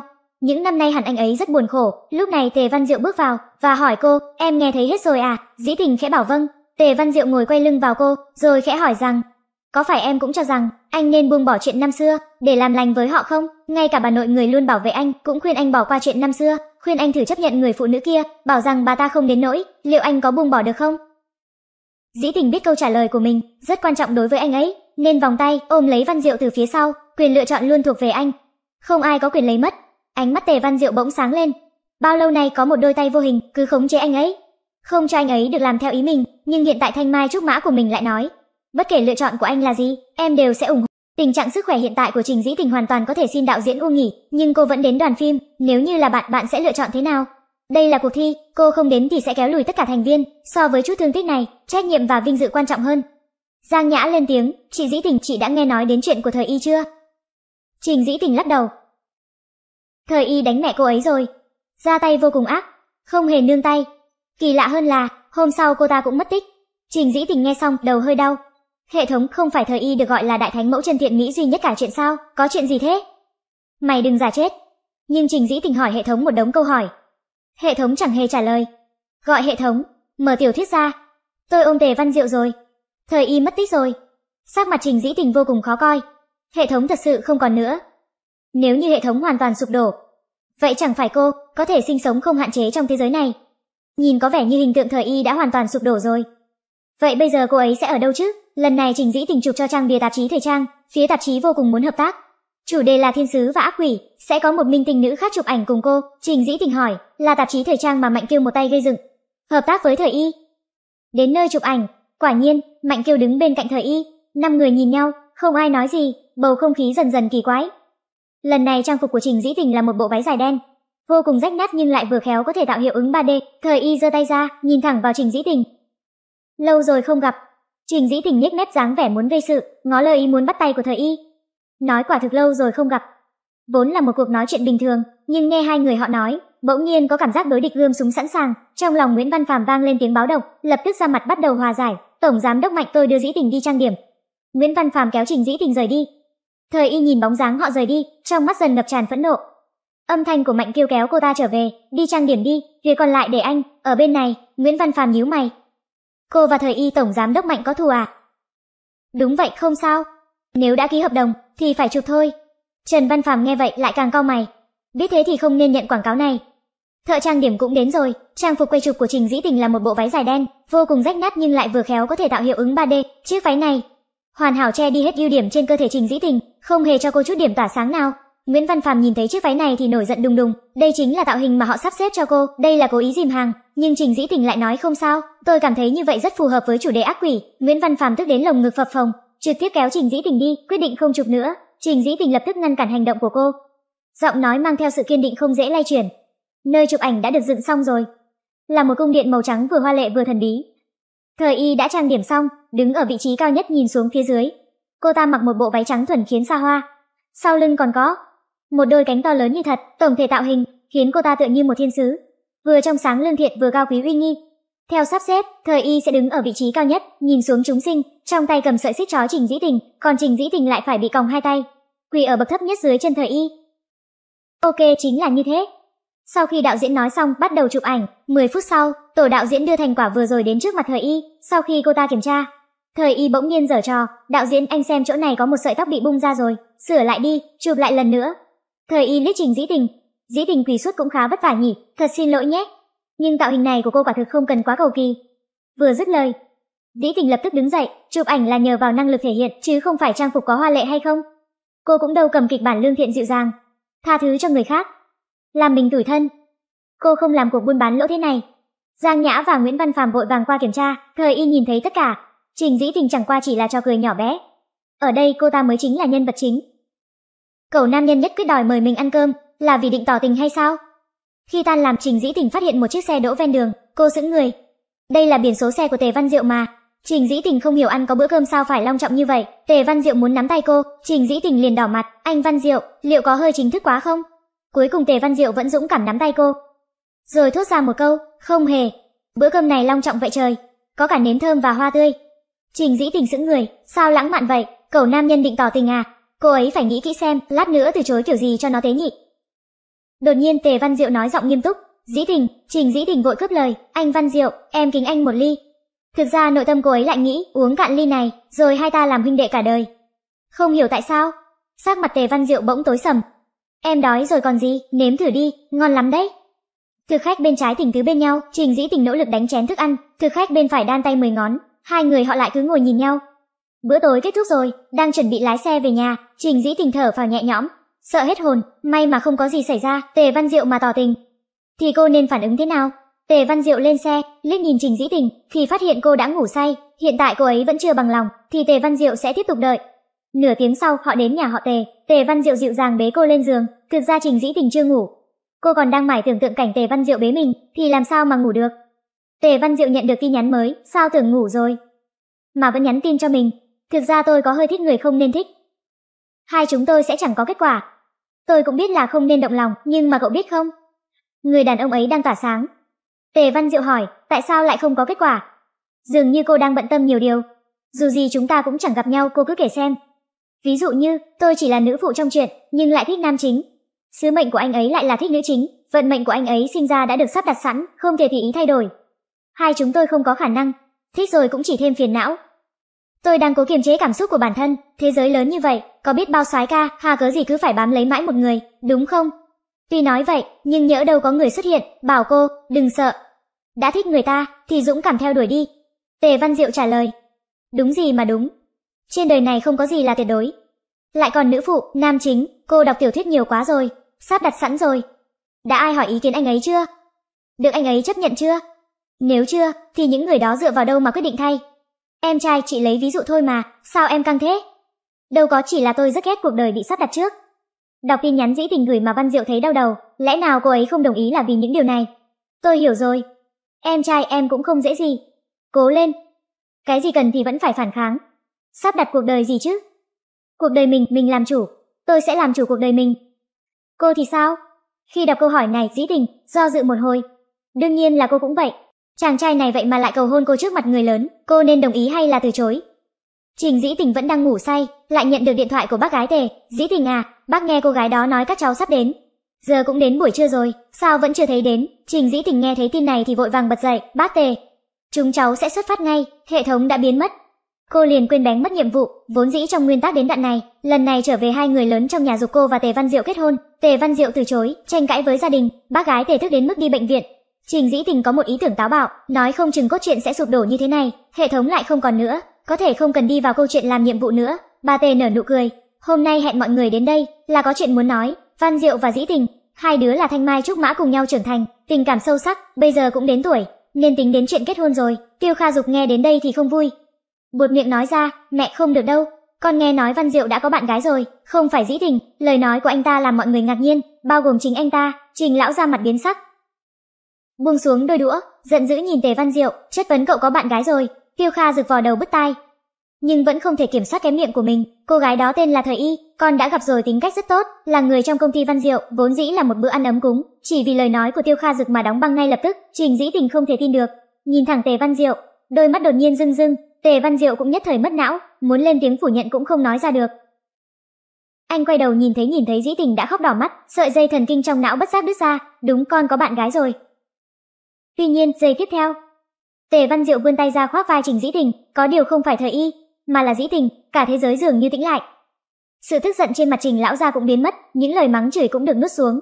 Đang chuẩn bị nói gì đó, đột nhiên lại nghẹn lại, cơn thịnh nộ của ông không thể nuốt xuống được, có lẽ không thể bỏ qua cục tức này, biểu cảm của mọi người trở nên phức tạp và kỳ lạ. Trình Dĩ Tình cũng trắng váng, anh ấy vừa nói gì? Tề Văn Diệu trước sự ngơ ngác của mọi người đứng dậy, quỳ bằng một chân. Quỳ trước mặt Dĩ Tình, trong tay là một chiếc nhẫn kim cương trong mơ, lấp lánh trước mắt Trình Dĩ Tình. Làm người yêu anh nhé. Trình Dĩ Tình cảm thấy có chút không thể tưởng tượng, chiếc nhẫn kim cương này cô đã nhìn thấy trên tạp chí cách đây không lâu, trong buổi đấu giá bị một thương gia bí ẩn đã dùng 16,3 triệu đô la Mỹ để mang nó đi, không có người phụ nữ nào có thể cưỡng lại chiếc nhẫn kim cương này, như vậy sức hấp dẫn của Tề Văn Diệu còn không bằng một chiếc nhẫn kim cương sao? Trình Dĩ Tình há hốc miệng, đôi mắt đầy ngây ngất. Lúc này cô đang không hề diễn, cô thực sự thích đến phát điên, Trình Dĩ Tình nhẹ gật đầu. Tề Văn Diệu tự tay đeo chiếc nhẫn kim cương to tướng vào ngón tay Trình Dĩ Tình, tay của Tề Văn Diệu dùng hết sức vẫn không đeo vào được, tại sao lại khó khăn như thế? Sau một hồi loay hoay, trên trán Tề Văn Diệu lấm tấm mồ hôi, rõ ràng chẳng làm gì, mà dường như lấy đi hết sức lực của anh ta, cuối cũng cũng đeo được nhẫn vào. Trình Dĩ Tình cảm thấy cái nhẫn này nặng quá, nhưng gánh nặng ngọt ngào này, cô rất thích. Trình Dĩ Tình ngại ngùng, trên mặt đầy ý cười, Tề Văn Diệu vui vẻ nhìn bà Tề, việc đính hôn của chúng con đều giao phó cho mọi người. Nếu như mệt quá, không cần nói với con, Dĩ Tình quyết định là được rồi. Bầu trời bên trở nên sáng hơn so với ban nãy, bởi vì lúc này, hệ thống đã cập nhật thành công, phát hiện những biến động lớn bất thường trong chương trình máy chủ, mời cô chủ hãy nhanh chóng nắm rõ sứ mệnh, cô muốn bỏ lại chị gái, mà ở lại thế giới trong chuyện sao? Dĩ Tình đột nhiên nhận ra rằng sau khi ở trong thế giới tiểu thuyết trong một thời gian dài, cô ấy đã quên mất chính mình. Không phải vì muốn trở về thế giới hiện thực, cô mới miễn cưỡng hoàn thành nhiệm vụ sao? Cô chủ yên tâm hoàn thành nhiệm vụ, đừng nghĩ đến những thứ không thuộc về mình, điều đó tốt cho cô và tất cả mọi người trong thế giới tiểu thuyết này. Bác Tề cảm thấy dĩ tình có gì đó không ổn nên bước tới hỏi. Cháu sao vậy? Không khỏe ở chỗ nào? Đột nhiên một tiếng nổ phát ra, dĩ tình ngất đi ngay lập tức. Một cuốn sách của cô quy tắc nữ phụ cũng theo đó rơi ra. Tề Văn Diệu thấy vậy lập tức kêu lên một tiếng, dĩ tình. Anh đã đọc quyển quy tắc của nữ phụ, rất tò mò sao nữ nhân này lại viết như vậy. Trình Dĩ Tình sau khi ngất xỉu, Tề Văn Diệu lập tức phái người đưa cô vào trong bệnh viện. Bác sĩ nói với bọn họ, hiện tại cơ thể của Trình tiểu thư đã không có vấn đề gì rồi. Có thể là do kiệt sức, đột nhiên chịu kích động bên ngoài dẫn tới chóng mặt hôn mê. Lúc này Tề Văn Diệu cuối cùng cũng chú tới quyển quy tắc của nữ phụ, anh rất tò mò đây là cái gì, thế là anh mở ra xem, bên trong ghi đều là ghi về tính năng của nhân vật. Tề Văn Diệu nghi hoặc, cô ấy sao lại ghi như vậy, trước đây cô ấy luôn nói về tiểu thuyết. Nam chính nữ phụ. Chẳng lẽ có liên quan sao? Cuối cùng anh cũng tìm ra được cuốn tiểu thuyết, tin rằng những ví dụ mà cô từng nói không phải là lời nói ngẫu nhiên. Nhưng trong thế giới của tiểu thuyết vẫn quá hoang đường. Tề Văn Diệu gọi điện cho trợ lý Lưu, bảo cậu ta đi tới trường học điều tra biểu hiện của em trai của thời y dạo gần đây. Tề Văn Diệu nhìn Trình Dĩ Tình nằm trên giường, biểu hiện lúc ngủ của Trình Dĩ Tình vô cùng yên tĩnh, nhưng thực chất nội tâm lại rơi vào một thế giới khác. Cô ấy nhìn xung quanh, đây rốt cuộc là nơi nào? Vô tình nhìn thấy có một thứ ánh sáng, cô cứ đi về phía có ánh sáng, vậy mà lại nhìn thấy chị gái của mình, cô có chút vui mừng, mình phải trở lại thế giới thực rồi sao? Đột nhiên sau lưng xuất hiện giọng nói của Tề Văn Diệu, ấm áp gọi một tiếng Dĩ Tình. Dĩ Tình mau qua đây, tới bên cạnh anh. Trình Dĩ Tình quay đầu lại nhìn, anh ấy là Văn Diệu, cứ như vậy, cô ấy tỉnh lại, Tề Văn Diệu thấy cô tỉnh lại, vội vàng kéo lấy tay cô. Bây giờ em cảm thấy như nào? Trình Dĩ Tình cảm thấy thụ sủng nhược kinh, anh Văn Tề, em không sao? Trình Dĩ Tình quay đầu lại nhìn. Quyển quy tắc của nữ phụ, Tề Văn Diệu mở lời, em nghỉ ngơi đi. Thời gian này đừng có suy nghĩ về cuốn tiểu thuyết nhạt nhẽo này nữa. Cái gì mà quy tắc của nữ phụ? Anh thấy em viết cũng khá nghiêm túc rồi đó. Anh sẽ đi nói với ông bà là em đã tỉnh, hai người đã rất lo lắng đấy. Nói xong anh liền quay người rời đi. Tề Văn Diệu nghĩ, em trai của thời y trước giờ chưa từng có hành vi trốn học đánh nhau với thầy giáo. Vậy thì vì sao cô ấy lại viết những thứ này? Đây là lần đầu tiên cô cảm nhận được, Trình Dĩ Tình trong tiểu thuyết hóa ra lại có nhiều người yêu thương cô như vậy, cảm nhận được hạnh phúc viên mãn. Cô đã đóng vai Trình Dĩ Tình thật tốt, thật sự có ý nghĩa sao? Giang Nhã cười nói với Trình Dĩ Tình. Chị lại lên hot search rồi. Chương trình game show lần trước phát sóng rồi, mọi người trên mạng đều khen chị đó, video, hình ảnh âm nhạc vân vân đều được cắt ra từ tập đó. Quý khán giả bình luận là, mẹ ơi con thấy cô tiên rồi. Dĩ tình hạ phàm, vất vả rồi, đây cũng đẹp quá đi thôi, yêu rồi yêu rồi, sau này ai còn dám công kích kỹ năng diễn xuất của dĩ tình diễn kém nữa. Cô hào hứng nói, dĩ tình tỷ chị nổi vượt ra ngoài giới luôn rồi. Lúc này lại nhận được điện thoại bà nội tề gọi tới, dĩ tình à, ta xem qua tiết mục đó của con, công việc đó con làm quá nguy hiểm, trình dĩ tình nhớn mày, bà nội tề không nguy hiểm đâu ạ, có nhiều dụng cụ bảo hộ lắm ạ. Đạo diễn Uông cũng chỉ muốn con diễn một cách hoàn hảo hơn thôi. 10 phút sau, cô cuối cùng cũng đã thuyết phục được bà nội tề, cô cảm thấy tình yêu của trưởng bối thật nặng mà, có điều thì ra có nhiều người yêu thương cô như vậy, nghĩ đi nghĩ lại đều rất vui, cô quyết định phải cố gắng làm việc. Một vai diễn điển hình vào 20 năm trước, nhu nhược yếu đuối, hiền dịu dễ tổn thương, còn theo quan điểm hiện tại là một cô trà xanh điển hình, tình tiết kinh điển cộng thêm vài tình tiết thú vị. Thăm bốc chúng từ đạo diễn Uông lần này thật là đủ khó. Nhưng cô chuyên nghiệp như vậy, sao có thể để cái vai trà xanh này cản đường được? Toàn bộ mấy cái đại hồng thủy mãnh thú gì đó, ở trước kỹ năng diễn xuất tuyệt đỉnh đều là test siêu. Bây giờ mọi người trên đường nhìn thấy cô đều yêu cô còn không hết, đều muốn xin chữ ký cùng với cô chụp ảnh. Không ngờ thời y cũng ở đây, cô ta bước tới muốn bắt tay Trình Dĩ Tình, Trình Dĩ Tình dứt khoát từ chối.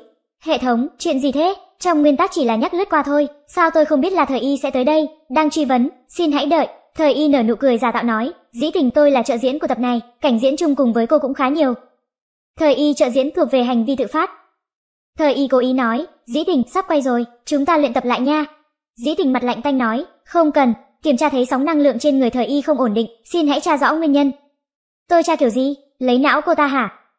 Nhân cách của thời y đã thay đổi rồi, cô ta không còn là nữ chính dịu dàng như ngày trước nữa, địa vị của cô ta rất vững mạnh, lại có tính áp chế cao. Tôi, đạo diễn Uông đột nhiên tới đây, dĩ tình bên tôi đã chuẩn bị xong rồi. Cô có ý kiến gì về vai diễn không? Cô nói với giọng nghiêm trang, nội dung gốc của câu chuyện đã cố định chặt chẽ, có thay đổi cũng chẳng mấy khả quan, chi bằng cứ giữ nguyên cốt truyện gốc, nhưng phóng đại các đặc điểm của nhân vật và thoát ra khỏi bóng của vai diễn gốc. Sau đó ở chỗ này có một cảnh tát, cô cho rằng cảnh này không cần thiết phải đánh thật, nó sẽ làm ảnh hưởng tới không khí buổi quay. Đạo diễn Uông cũng gật đầu tán thành, ừm, dĩ tình à tôi tin vào năng lực của cô. Thời y châm chọc nói, dĩ tình chị đã từng quay phim với súng thật đạn thật rồi mà. Sao chị bây giờ lại lười biếng với đạo diễn Uông vậy? Cảnh tát phải diễn thật mới hấp dẫn chứ, mới là nhập tâm nhân vật, không phải sao? Sau đó lại nhìn về phía đạo diễn Uông, trước giờ tôi không có thói quen đánh giả, chúng ta cũng không có nhiều thời gian, vẫn là đánh thật sẽ tốt hơn. Trình dĩ tình cao mày, muốn kiếm chuyện sao? Vô dụng đạo diễn Uông đã nhất trí với mình rồi, nghe tới đây, nếu như đã vậy rồi thì đánh thật đi. Dĩ tình, diễn viên gặp phải tình huống như vậy cũng không có gì đáng trách. Cô nên thích ứng nhiều hơn. Thời y đắc ý nhìn cô nở một nụ cười, chẳng lẽ đây chính là ánh hào quang của nữ chính sao? Tình tiết được bật mí trước rồi, tiếp theo thì cô ấy phải làm thế nào? Mấy đoạn cắt này cũng không tệ đâu. Tốc độ quay phim rất nhanh, mặc dù thời y nhìn có vẻ như đang định xông vào trình dĩ tình, nhưng mà có vẻ cũng không hoạnh hoẹ lắm, chỉ cần một lần tát là đã qua cảnh này rồi, cô ta không hề có định gây khó dễ. Trong lúc nghĩ giữa giờ, trường quay tiếp đón một vị khách không mời mà đến, Tạ Cát Hương.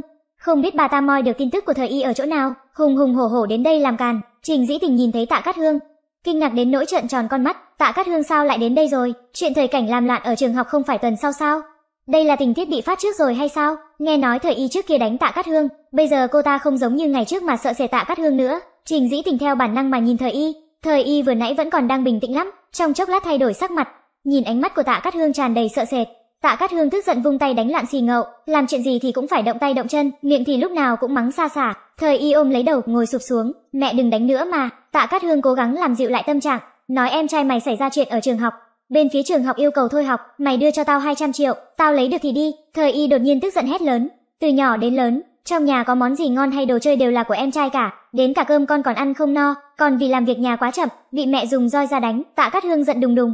Hôm nay mà mày không đưa tiền cho tao, thì em trai sẽ phải thôi học, lẽ nào mày muốn hủy hoại em trai mày sao? Tay của bà ta bị Uông Chiết ngăn lại, Uông Chiết nhìn mọi người xung quanh đều ngạc nhiên ngơ ngác, cứ đứng được ra đấy xem kịch, đuổi bà ta ra ngoài cho tôi. Thời y được đưa về phòng nghỉ ngơi, Trình Dĩ Tình đứng ở một góc, là một người ngoài cuộc đứng nhìn, chứng kiến toàn bộ quá trình của nói chuyện của thời y và Tạ Cát Hương, mặc dù lấy cớ chuyện thời cảnh để gây chuyện, đến đòi tiền, nhưng những lời mà thời y nói ra, phần lời đều không có liên quan đến nguyên tắc của tiểu thuyết, hình ảnh của thời y không giỏi kể khổ những đau khổ mà cô phải chịu đựng.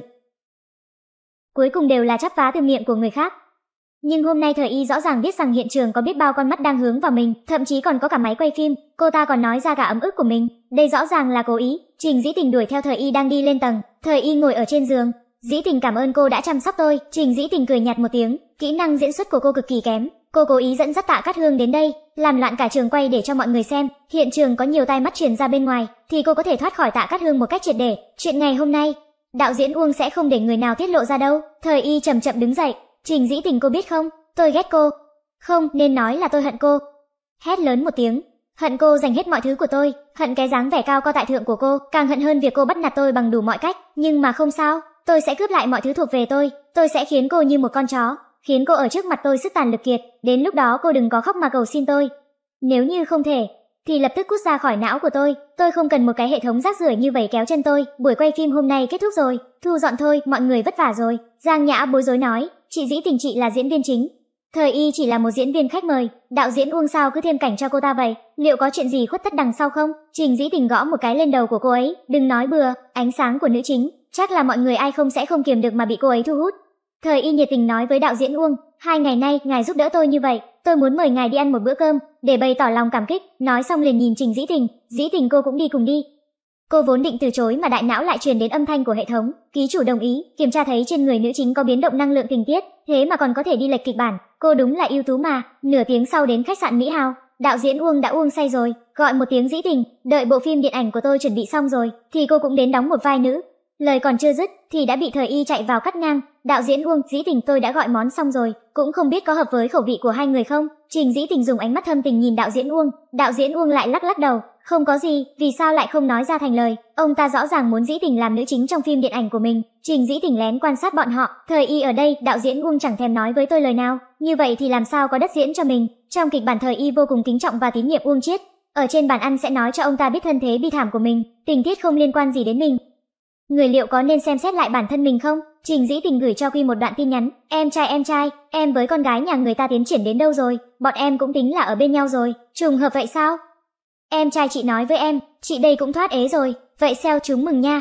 Chính vào lúc này trợ lý Lưu gọi điện thoại đến, Tề tổng em trai của thời y đang gây chuyện ở trường học, bây giờ có thể sẽ bị đuổi học, anh rất khó tin vào lời này. Cô ấy thật sự đã dự đoán được chuyện của ngày hôm nay, mình cứ tưởng rằng mình với cô ấy đã đến giai đoạn không còn gì để giấu giếm rồi. Ba tiếng sau bọn họ đi ra từ khách sạn, Trình Dĩ Tình đeo khẩu trang lên, theo sát phía sau hai người họ, đột nhiên lại dừng lại, Thời Y nói xin lỗi, Dĩ Tình tôi quên một ít đồ rồi. Đạo diễn Uông thì say rồi, cô cố đợi ở đây một chút, nhờ cô cả đấy. Tôi quay về ngay ý mà, đạo diễn Uông say bí tỉ nói, Dĩ Tình à. Tôi rất muốn mời cô làm nữ chính trong bộ phim điện ảnh sắp tới của tôi, chỉ là cái miệng này không vâng lời, Thời Y đâu, Nhìn thấy cô ấy ấn tượng đầu tiên, tôi cũng cảm thấy cô ấy là nữ chính của tôi, nhưng mà cô ấy không đẹp bằng cô, kỹ năng diễn xuất cũng không đủ. Trình Dĩ Tình rất cảnh giác, thời y sao vẫn chưa về vậy, có cái gì đó sai sai, gọi điện thoại cho cô ấy mà lại không có người nghe, cô chỉ đành gọi điện cho Giang Nhã, để cô ấy qua đây, đưa đạo diễn Uông về, nếu như có người chụp hình cô với đạo diễn Uông, lên cùng một chiếc xe, chuyện này sẽ trở thành tin tức hot nhất cho mà xem, mấy tên chó săn ảnh thì thầm với nhau, Trình Dĩ Tình cũng cảnh giác đấy, không ở cùng với Uông Chiết, chuyện nhỏ thôi, Đến lúc đó thêm mắm thêm muối là xong, cô ta chắc chắc sẽ sụp đổ hình tượng, quả nhiên vẫn lên hot search. Quan hệ của Trình Dĩ Tình và đạo diễn Uông, gần đây có một đám phóng viên chụp được cảnh Trình Dĩ Tình và Uông Chiết cùng đi ăn tối. Sau khi bữa cơm kết thúc, Trình Dĩ Tình tự mình dìu Uông Chiết đang say bí tỉ lên xe. Tôi là một diễn viên, nhân viên nội bộ trong tổ tiết mục bóc phốt, Uông Chiết luôn liếc mắt đưa tình với Trình Dĩ Tình ở trường quay. Chuyện lần này khiến cô rất đau đầu. Đây là cạm bẫy mà hệ thống với thời y cùng nhau răng ra phải không? Hệ thống có năng lực khống chế bản thân. Trình Dĩ Tình tức giận hét lớn, "Hệ thống ngươi ra đây cho tôi, ký chủ có dặn dò gì?" Ngươi rốt cuộc là hệ thống của ai? Biết thừa ai định đào hố cho tôi, cố ý bảo tôi đi, còn cả đạo diễn Uông, nhà nghệ thuật gia hơn 50 tuổi rồi, lại còn nói mấy cái lời ấm ức này với tôi, ký chủ cô hãy bình tĩnh. Ông ấy chỉ là một vai phụ nhỏ không quan trọng gì, xí, đối với ngươi thì là vai phụ.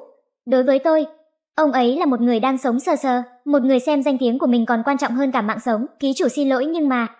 Tất cả tình tiết đều phục vụ cho nữ chính, Trình Dĩ Tình cực kỳ tức giận, tôi không muốn nghe những lời này, ta hỏi ngươi, ngươi có thể nhận rõ thân phận của mình, nếu như không thể thì cút ngay ra khỏi đầu tôi, tôi không cần cái hệ thống rác rưởi này kéo chân tôi. Mau xem nam chính mà lại công khai quan hệ mình với cô ấy rồi. Trình Dĩ Tình nghe điện thoại của Tề Văn Giao, dò hỏi chuyện ở trên hot search, cô phiền muộn nói hôm đó là do thời y bày ra, chỉ mời tôi và đạo diễn Uông, sau đó cô ấy đột nhiên nói có chuyện phải đi trước. Tôi không lên xe cùng đạo diễn Uông, là Giang Nhã đưa ông ấy về nhà, tôi sẽ giải quyết chuyện này. Nói xong liền tắt máy luôn, Tề Văn Giao sững sờ, sao cô ấy lại không thể mở miệng nhờ mình giúp đỡ chứ? Trình Dĩ Tình hỏi, vẫn không liên hệ được đạo diễn Uông sao? Giang Nhã gật gật đầu. Giang Nhã đột nhiên hét lớn, "Chị Dĩ Tình, Tề tổng công khai quan hệ tình cảm của hai người rồi." Trình Dĩ Tình nghe được tin này có hơi kinh ngạc, giới thiệu một chút bạn gái của tôi A Còng Trình Dĩ Tình, đối với một số tin đồn nhảm không có tự trọng, tôi sẽ điều tra đến cùng. Lúc này ở dưới bình luận tôi bị đuôi mất rồi. Tề Văn Giao là người như thế nào vậy? Bao nhiêu nữ nghệ sĩ, thiên kim nhà giàu, người đàn ông độc thân mà các em gái muốn cũng không được, Trình Dĩ Tình xứng sao? Tổng tài anh có thể cân nhắc tôi này. Uông Chiết cũng đăng trên Weibo, một số người chỉ vì lợi ích cá nhân, bất chấp thủ đoạn làm tổn thương người khác, vô sỉ. Đây là ngày hôm đó trước cửa nhà tôi, video quay cảnh tôi đến đón người nhà của tôi, biết đủ mọi thứ trên đời cũng đăng Weibo, ân oán của thời y và Trình Dĩ Tình, tin tức hot nhất ngày hôm nay, Trình Dĩ Tình đã sớm ở bên cạnh tổng tài rồi, không nhất thiết phải nghĩ đến ai. Hơn nữa, tôi là một diễn viên, theo miêu tả của nhân viên công tác, hôm đó còn có một người nữa, cùng với Uông Chiết và Dĩ Tình rời khỏi trường quay, thời y, mau nhìn nữ chính của tiểu thuyết lại chủ động hôn nam phụ. Thời y nhìn thấy những tin tức này có hơi buồn bã, nhà nghệ thuật lâu năm bị ép đến mức phải nói người đó là ai, thật hay giả vậy. Mau lại đây hóng hớt, xem ra vậy là thời y cố ý hãm hại Trình Dĩ Tình và đạo diễn Uông rồi, thời y cô chính là người kia phải không? Chỉ có một mình tôi nhớ rằng, hình như thời y có quan hệ không bình thường với Mạnh Kiêu xuất hiện ở trên tạp chí thời thượng, theo tin tức nội bộ, thời y bị thánh địa giải trí đóng băng rồi, mạo muội hỏi một câu với, cô có thù với Trình Dĩ Tình, hay là vì đạo diễn Uông quá nghiêm khắc, không chịu nổi đạo diễn Uông, thật là một người phụ nữ độc ác bình luận, tán tỉnh thất bại, rồi lại dùng cái chiêu cặn bã như vậy, buồn nôn tôi đến đây để xem mấy cái thứ rác rưởi này sao? Thời y cút khỏi giới giải trí đi, cô không hiểu vì sao lại rơi vào bước đường này. Lúc này Mạnh Kiêu chạy đến tự trách. Xin lỗi, anh không chăm sóc tốt em. Thời y ngẩng đầu, anh ơi em không xấu như những gì bọn họ nói, anh có tin em không? Mạnh Kiêu đau lòng ôm cô vào lòng, anh tin em, anh tin em. Là bọn họ mắt mù, không nhìn thấy được điểm tốt của em. Thời y mở lời, anh sẽ mãi mãi đứng bên phía em không? Tay của thời y hơi run rẩy. Lúc này trong đầu của cô nói cho cô, không thể không được. Mạnh Kiêu trả lời một cách đầy kiên định, sẽ cho dù trên thế gian này tất cả mọi người đều phản đối em, anh cũng sẽ đứng bên cạnh em, chống lại cả thế giới. Cô nghe thấy lời này có hơi cảm động, trực tiếp ôm lấy cổ của Mạnh Kiêu, hôn lên môi anh, má nó không được, má nó Tề Văn Giao. Trình Dĩ Tình đang vừa xem kịch bản, đột nhiên Giang Nhã cảm thấy khó chịu trong người, Trình Dĩ Tình vội vàng đưa cô đi bệnh viện, cô cảm thấy mọi chuyện có gì sai sai, hệ thống đang khởi động lại, Xin đợi một lát, hệ thống tự kiểm tra, xin hãy kiên nhẫn chờ đợi, ký chủ kiểm tra được nữ chính thời y. Đã làm ra hành vi sai trái phản bội nguyên tắc nữ chính, cô ấy mặc một bộ váy cưới lộng lẫy, tay cầm hoa tươi, mỉm cười, lúc này lại có một bàn tay giơ tay ra nắm lấy hoa tươi cô đang cầm, người đó lại là Trình Dĩ Tình. Giật lấy hoa tươi ôm vào lòng mình, thời y tỉnh lại từ giấc mơ. Không, Mạnh Kiêu quan tâm hỏi, sao thế, em mơ thấy gì rồi, em mơ thấy cái thế giới này dường như đang chuyển động xung quanh em.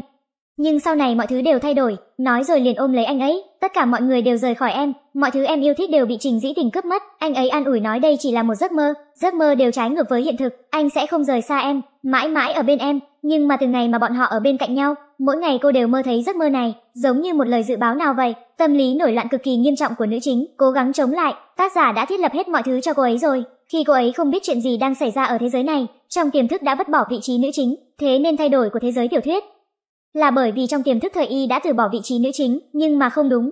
Tề Văn Giao thân là nam chính, cũng ở bên nữ phụ mình rồi. Vì sao lúc đó mọi chuyện không xảy ra thay đổi? Bởi tinh thần và cơ thể của nữ chính thời y.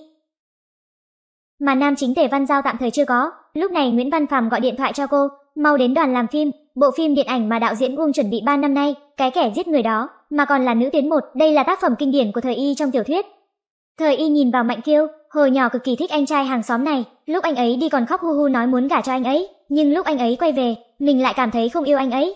Đã nhiều năm trôi qua như vậy rồi, thói quen của mình thay đổi một trời một vực so với hồi nhỏ, nhưng mà anh ấy vẫn rất hiểu mình, thấu hiểu đến nỗi dường như nhiều năm nay vẫn chưa hề rời đi, mình thích ăn cái gì, thích làm cái gì, thích xem cái gì, anh ấy đều biết hết.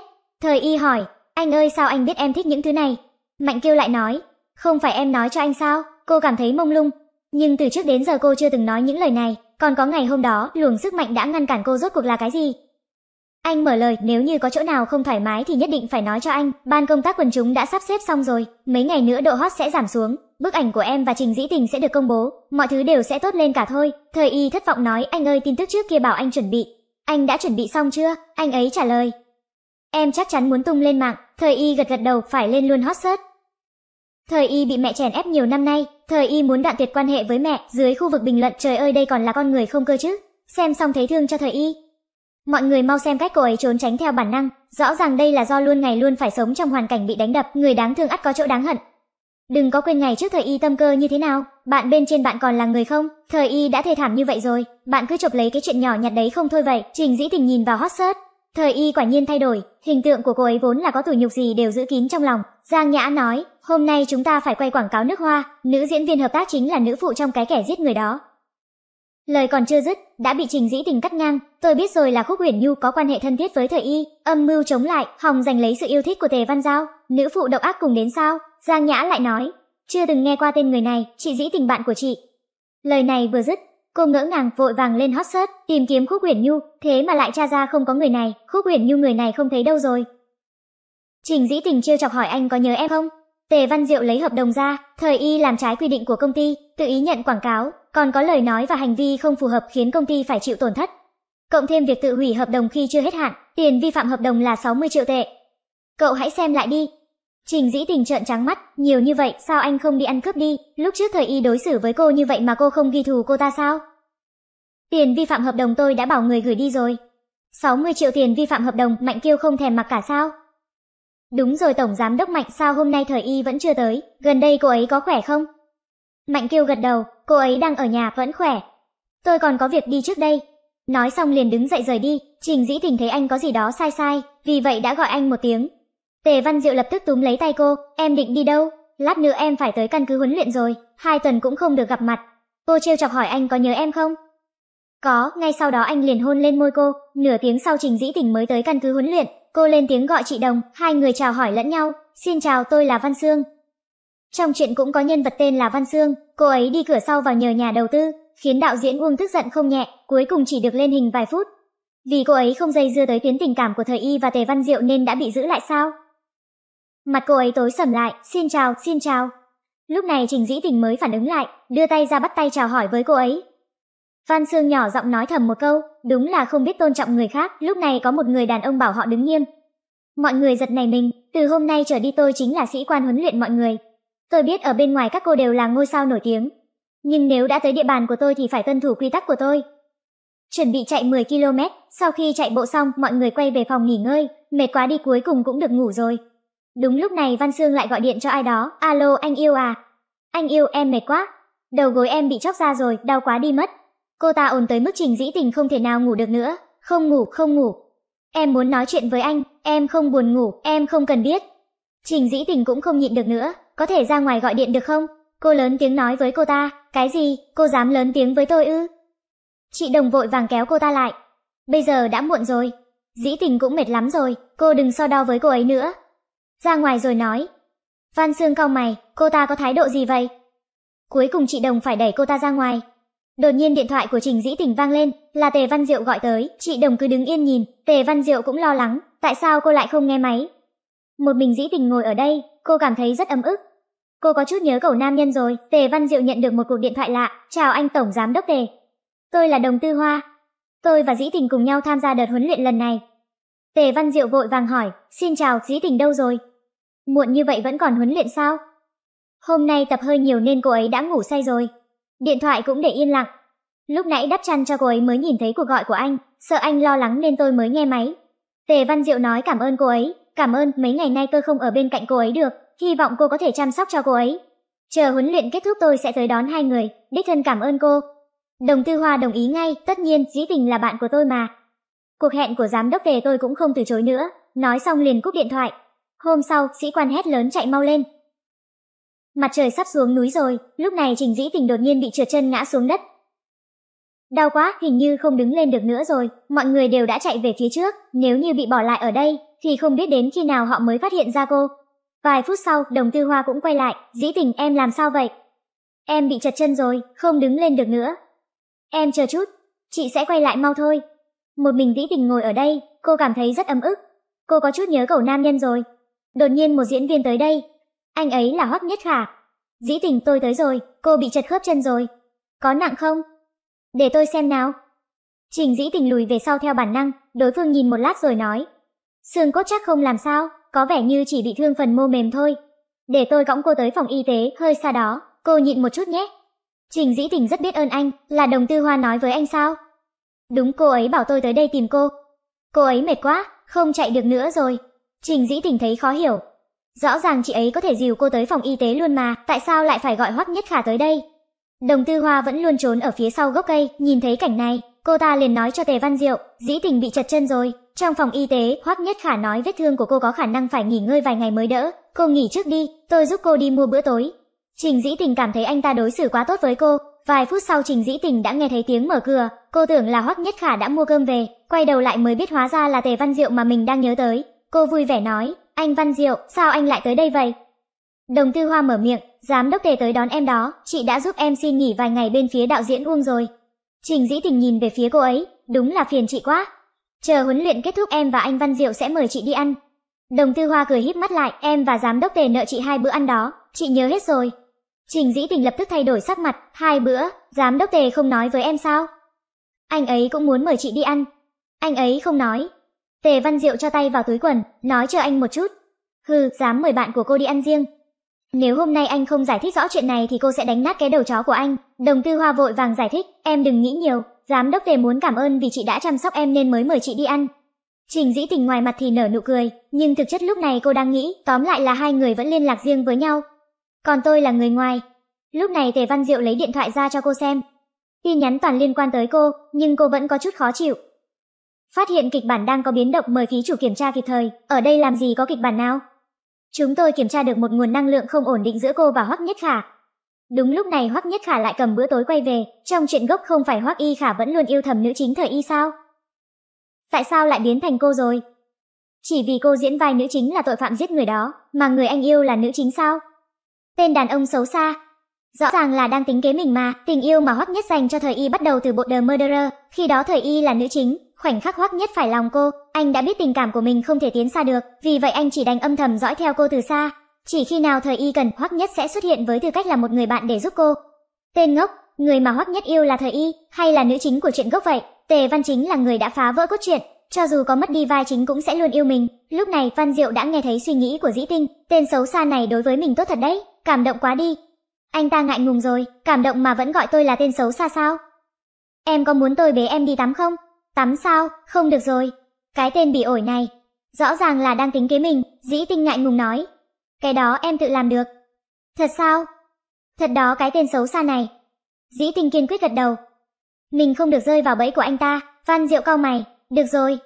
Để anh múc canh giúp em, rõ ràng cô ấy rất thích ở gần mình tại sao lần này lại né tránh, rốt cuộc điều gì đã khiến cô ấy thay đổi như vậy? Cốt truyện Dĩ tình nghĩ một lúc, vì mất đi hào quang của nhân vật chính nên thời y mới bị ghẻ lạnh. Nếu như Văn Diệu cũng như vậy thì phải làm sao? Mình không thể ích kỷ khiến tên xấu xa đó mất đi vai chính được. Đồng Tư Hoa nhìn bức ảnh mà Dĩ Tinh đăng lên, ai đó đã tự tay vào bếp nấu canh cho mình ăn, cư dân mạng điên cuồng bình luận. Ai đó còn biết nấu canh sao? Bạn trai nhà người ta đó. Tôi khóc đây, nhìn bạn trai nhà người ta đi kia Đồng Tư Hoa cảm thấy rất bất công, tại sao Dĩ Tinh lại yêu được một người đàn ông tốt như Văn Diệu, còn cô ta lại chẳng có gì, Tư Hoa đứng trước cửa, gương mặt cô ta lộ rõ vẻ căng thẳng, giơ tay lên nhưng chẳng dám gõ cửa. Mãi sau cô ta mới có dũng cảm gọi cửa. Vài giây sau có người đi ra, ông chủ đã đợi cô rất lâu rồi. Đồng Tư Hoa gật đầu đi vào. Căn phòng này rất lớn, thiết kế cũng đẹp mắt, nhưng Đồng Tư Hoa lại cảm thấy vô cùng sợ hãi, cô ta cố gắng gượng cười nhìn về phía người đàn ông đối diện. Tên đầu chọc cũng quay lại nhìn cô với ánh mắt sắc lẹm. Ông ta khoác trên mình một cây đen. À lực cậu ra ngoài trước đi. Cùng với tiếng đóng cửa vang lên, Tư Hoa cũng cởi áo ngoài ra, chỉ thấy toàn thân cô ta chẳng chịt vết thương, Đường Thắng Duy nhìn chằm chằm vào cơ thể Tư Hoa và tận hưởng nó như một tác phẩm nghệ thuật. Ta đang đầu tư một hạng mục, tháng sau sẽ bắt đầu. Đạo diễn đã chốt rồi, cô sẽ được diễn trong bộ phim đó. Còn nữa ta cũng đã giúp cô giành được một giải thưởng ở Hồng Kông, là giải thưởng cuối năm, cô cũng nên chuẩn bị một chút. Tư Hoa ngẩng đầu lên cảm ơn ông ta sau đó chạy khỏi nơi này. Vừa hay có hai cô gái cũng được đưa vào. Cô gái mặc váy đen nhìn Tư Hoa với ánh mắt tò mò. Đồng Tư Hoa. Đường Thắng Duy gọi tên Tư Hoa. Đại minh tinh nổi tiếng trong giới giải trí. Cô gái váy đen nhếch miệng cười, sao lại chạy như vậy, ở lại chăm sóc anh Duy một chút đi. Cô ta ở lại chỉ tổ vướng chân thôi. Sau khi bị người khác nhìn thấy gương mặt của mình, Tư Hoa chỉ biết cắm đầu bỏ chạy. Vừa vào trong xe, nước mắt cô ta đã không kiềm được mà tuôn ra, cô ta ôm lấy vô lăng khóc nức nở. Không có ai để cô ta chút bầu tâm sự cả. Thế giới này thật quá bất công. Lúc này Tư Hoa nhận được tin nhắn của Văn Diệu. Cô trả lời lại một từ được. Anh không thèm muốn vẻ đẹp của tôi sao? Vậy tôi sẽ trừng phạt anh. Dĩ tinh không chút do dự chủ động hôn Văn Diệu, Tư Hoa vui vẻ đi đến khách sạn.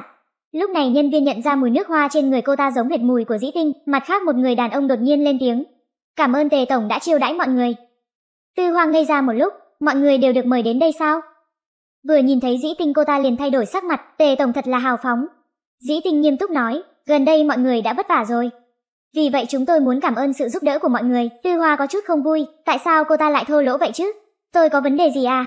Rõ ràng mọi thứ đang rất tốt mà. Văn Sương nắm lấy tay Tư Hoa, chị đồng chị đến rồi. Dĩ Tinh nhìn hai người rồi thầm nghĩ, chủ động tiếp cận Văn Diệu, lại còn dùng cùng mùi nước hoa với mình, cố ý để Văn Diệu gặp Hoắc Nhất, đây là vở kịch của Khúc Huyền Đình. Lẽ nào Tư Hoa thật sự muốn viết lại kịch bản thay Huyền Đình sao? Văn Diệu cũng cảm thấy nghi ngờ khi nghe thấy suy nghĩ của Dĩ Tinh, Khúc Huyền Đình gì cơ? Một lúc sau, Dĩ tình đã uống say mềm, em không sao, em còn có thể uống nữa. Văn Diệu nhìn về phía mọi người, xin lỗi các vị, cô ấy uống say rồi, tôi sẽ đưa cô ấy về trước, tôi sẽ thanh toán toàn bộ chi phí ngày hôm nay. Tư Hoa thấy vậy cũng tỏ vẻ yếu ớt, Tề tổng em cũng cảm thấy khó chịu. Anh có thể đưa em về được không? Văn Diệu thẳng thừng từ chối, xin lỗi, tôi không tiện. Nói xong liền bế Dĩ Tinh rời đi. Sau khi về nhà, anh ân cần đặt Dĩ Tinh xuống giường, Dĩ Tinh lẩm bẩm, tên xấu xa. Sao anh lại ở đây? Dĩ Tinh ôm lấy cổ Văn Diệu, chẳng lẽ anh không hề bị thu hút bởi nhan sắc của tôi? Sao anh ta không trả lời? Dĩ Tinh có chút khó chịu, cô giữ chặt cổ Văn Diệu. Nếu như anh thật sự không bị thu hút, Vậy thì tôi sẽ trừng phạt anh bằng một nụ hôn. Văn Diệu cuối cùng cũng không nhẫn nhịn được nữa, anh đẩy Dĩ Tinh về phía sau, là em câu dẫn tôi trước. Anh luồn tay vào trong áo Dĩ Tinh, không được không được. Như vậy anh sẽ không thể làm nam chính được nữa. Nam chính, Dĩ Tinh cố gắng dãy ruộng, không được. Tôi không thể khiến anh mất đi hào quang nam chính được. Dường như Văn Diệu đã hiểu ra gì đó, mình là nam chính. Nếu hai đứa mình phát sinh quan hệ vậy thì mình sẽ bị mất vai. Dĩ Tinh gật đầu, Thời y cũng đã bị mất đi hào quang nữ chính rồi. Vì vậy chúng ta tuyệt đối không được. Cảnh cáo không ngừng vang lên. Không được tiết lộ cốt truyện cho nhân vật chính. Em đừng nháo nữa, tôi nghe thấy hết những gì em suy nghĩ đó, cái gì mà không được nói cho nam chính chứ? Nó uy hiếp em. Văn Diệu hỏi Dĩ Tinh, là hệ thống sao? Không được để hệ thống nghe được. Tất cả đã rõ ràng rồi, nam chính trong cốt truyện. Đây là thế giới hư cấu trong tiểu thuyết, vậy thế giới thật như thế nào? Dĩ Tinh đến từ đâu? Dĩ tình vừa khóc vừa nói, tên xấu xa, em thích anh, hu hu hu. Anh cũng thích em, Văn Diệu nhẹ nhàng hôn lên môi dĩ tinh. Anh mặc kệ tất cả để ở bên cô. Từ nay về sau, người duy nhất anh cần chính là em. Chỉ cần em là của anh, thì những thứ khác anh không quan tâm. Sáng hôm đó Trình Dĩ Tình tỉnh dậy thì thấy cơ thể đau nhức dữ dội, cô quay sang bên cạnh, ai ngờ lại thấy tên cậu nam nhân đang nằm đó. Lúc này nhớ lại hình ảnh mình và anh ta ở cùng nhau tối qua.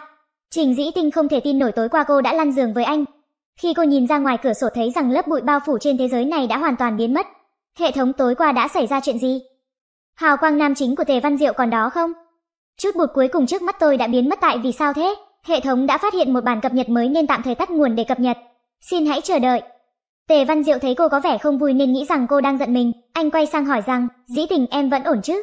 Cô ngại ngùng đáp lại, vẫn ổn. Tề Văn Diệu như thể nghe được tiếng lòng của cô. Hào quang nam chính của tên cậu nam nhân còn không? Tôi sẽ không làm hại anh ấy đâu.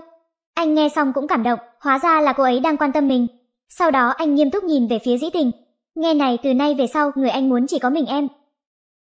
Chỉ cần em là của anh, thì những thứ khác anh không bận tâm. Vài ngày sau Văn Diệu đưa dĩ tình tới trường quay. Giang Nhã thấy vậy lập tức khen ngợi, chị dĩ tình trông chị đẹp hơn nhiều đó. Cô còn chưa kịp hiểu chuyện gì xảy ra còn tưởng là cô đang đùa, đừng đùa nữa, hôm nay là ngày đầu chị đi làm trở lại, còn nhiều chuyện phải làm lắm, nhưng Giang Nhã vẫn tiếp tục hỏi, da chị vừa mịn lại vừa mềm, chị dùng kem dưỡng gì mà thần kỳ vậy? Hay là chị mới đi thẩm mỹ? Mới có vài ngày không gặp thôi mà chị đã hồi phục nhanh vậy sao? Lúc này cô mới để ý tất cả mọi người đều đang nhìn mình, điều này đúng là quá kỳ lạ. Lẽ nào thế giới này đã thay đổi? Thậm chí thợ trang điểm còn khen cô, dĩ tình mới có mấy ngày không gặp mà em đã thay đổi nhiều quá. Trình dĩ tình không thể hiểu được mình đã thay đổi ở điểm nào. Dĩ tình cuối cùng chị cũng hiểu rồi, câu đẹp nghiêng nước nghiêng thành đúng là sinh ra để miêu tả em mà.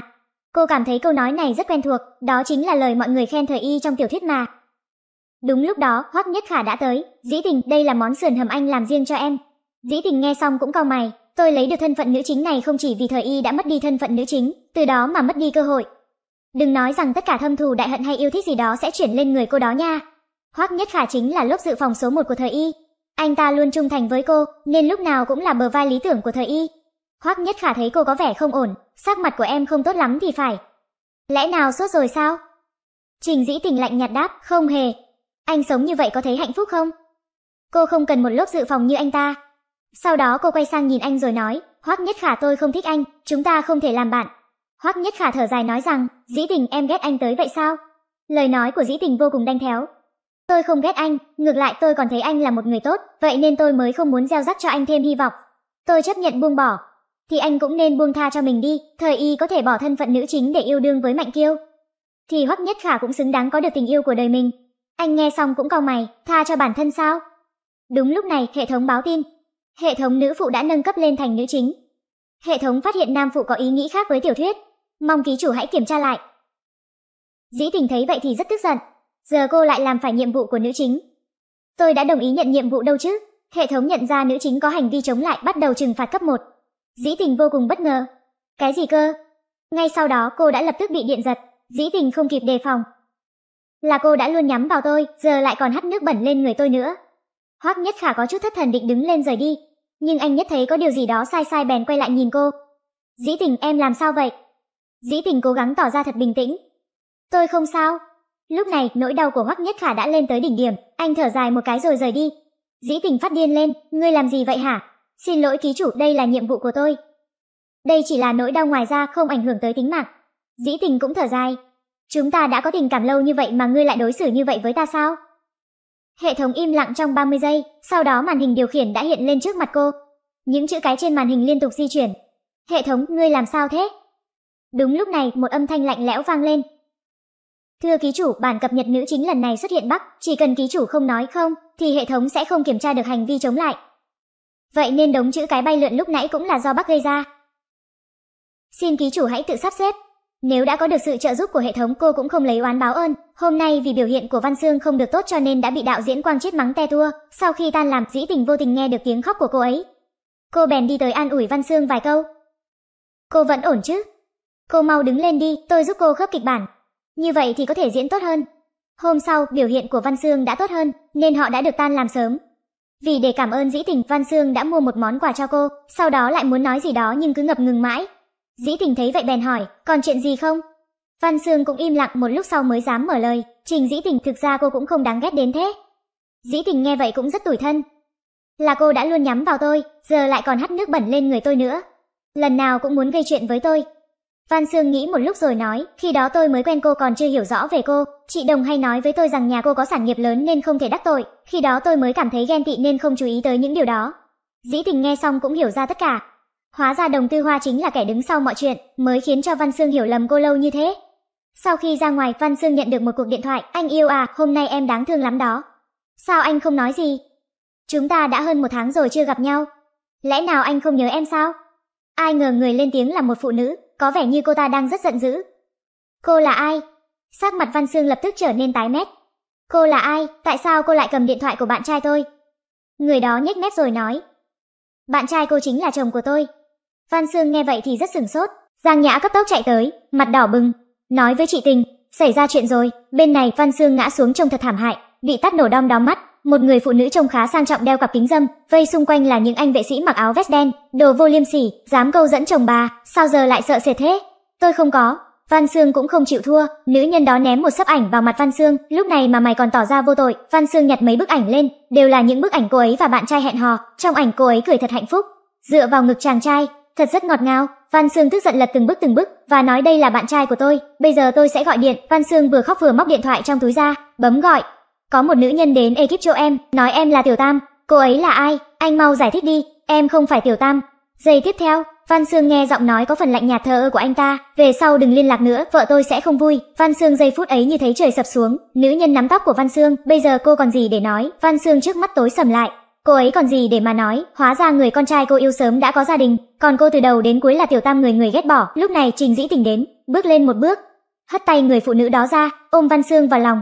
Tất cả mọi người sau khi biết Văn xương là tiểu tam, đều kệ cô ấy, chỉ có Trình Dĩ Tình trong lúc Văn xương thảm hại nhất, đưa tay ra bảo vệ, Văn xương là tiểu tam hay là bị oan, còn phải đợi cha hỏi, chồng cô ngoại tình không đi mắng anh ta, chỉ dám đến đây chút giận lên người khác, thứ cho tôi nói thẳng, ngày chồng cô đi ngoại tình còn dài lắm, cô dám nguyền rủa ta, nữ nhân bị chọc vào đúng chỗ đau, răng nghiến ken két, giơ tay định đánh Trình Dĩ Tình, Vương Thệ cuối cùng không nhịn được nữa, tiến lên ngăn cô ta, chỉ cô ta và nói, đủ rồi, trường quay không phải là nơi các cô đến giải quyết ân oán cá nhân, dám làm loạn nữa, tôi sẽ báo cảnh sát. Nữ nhân chỉ đành nguôi cơn giận, cũng không muốn đến mức ngồi sở cảnh sát. Cô ấy quay người lại, quay lại chưa? Quay lại rồi ạ. Đi, đoàn người đến cũng nhanh đi cũng nhanh.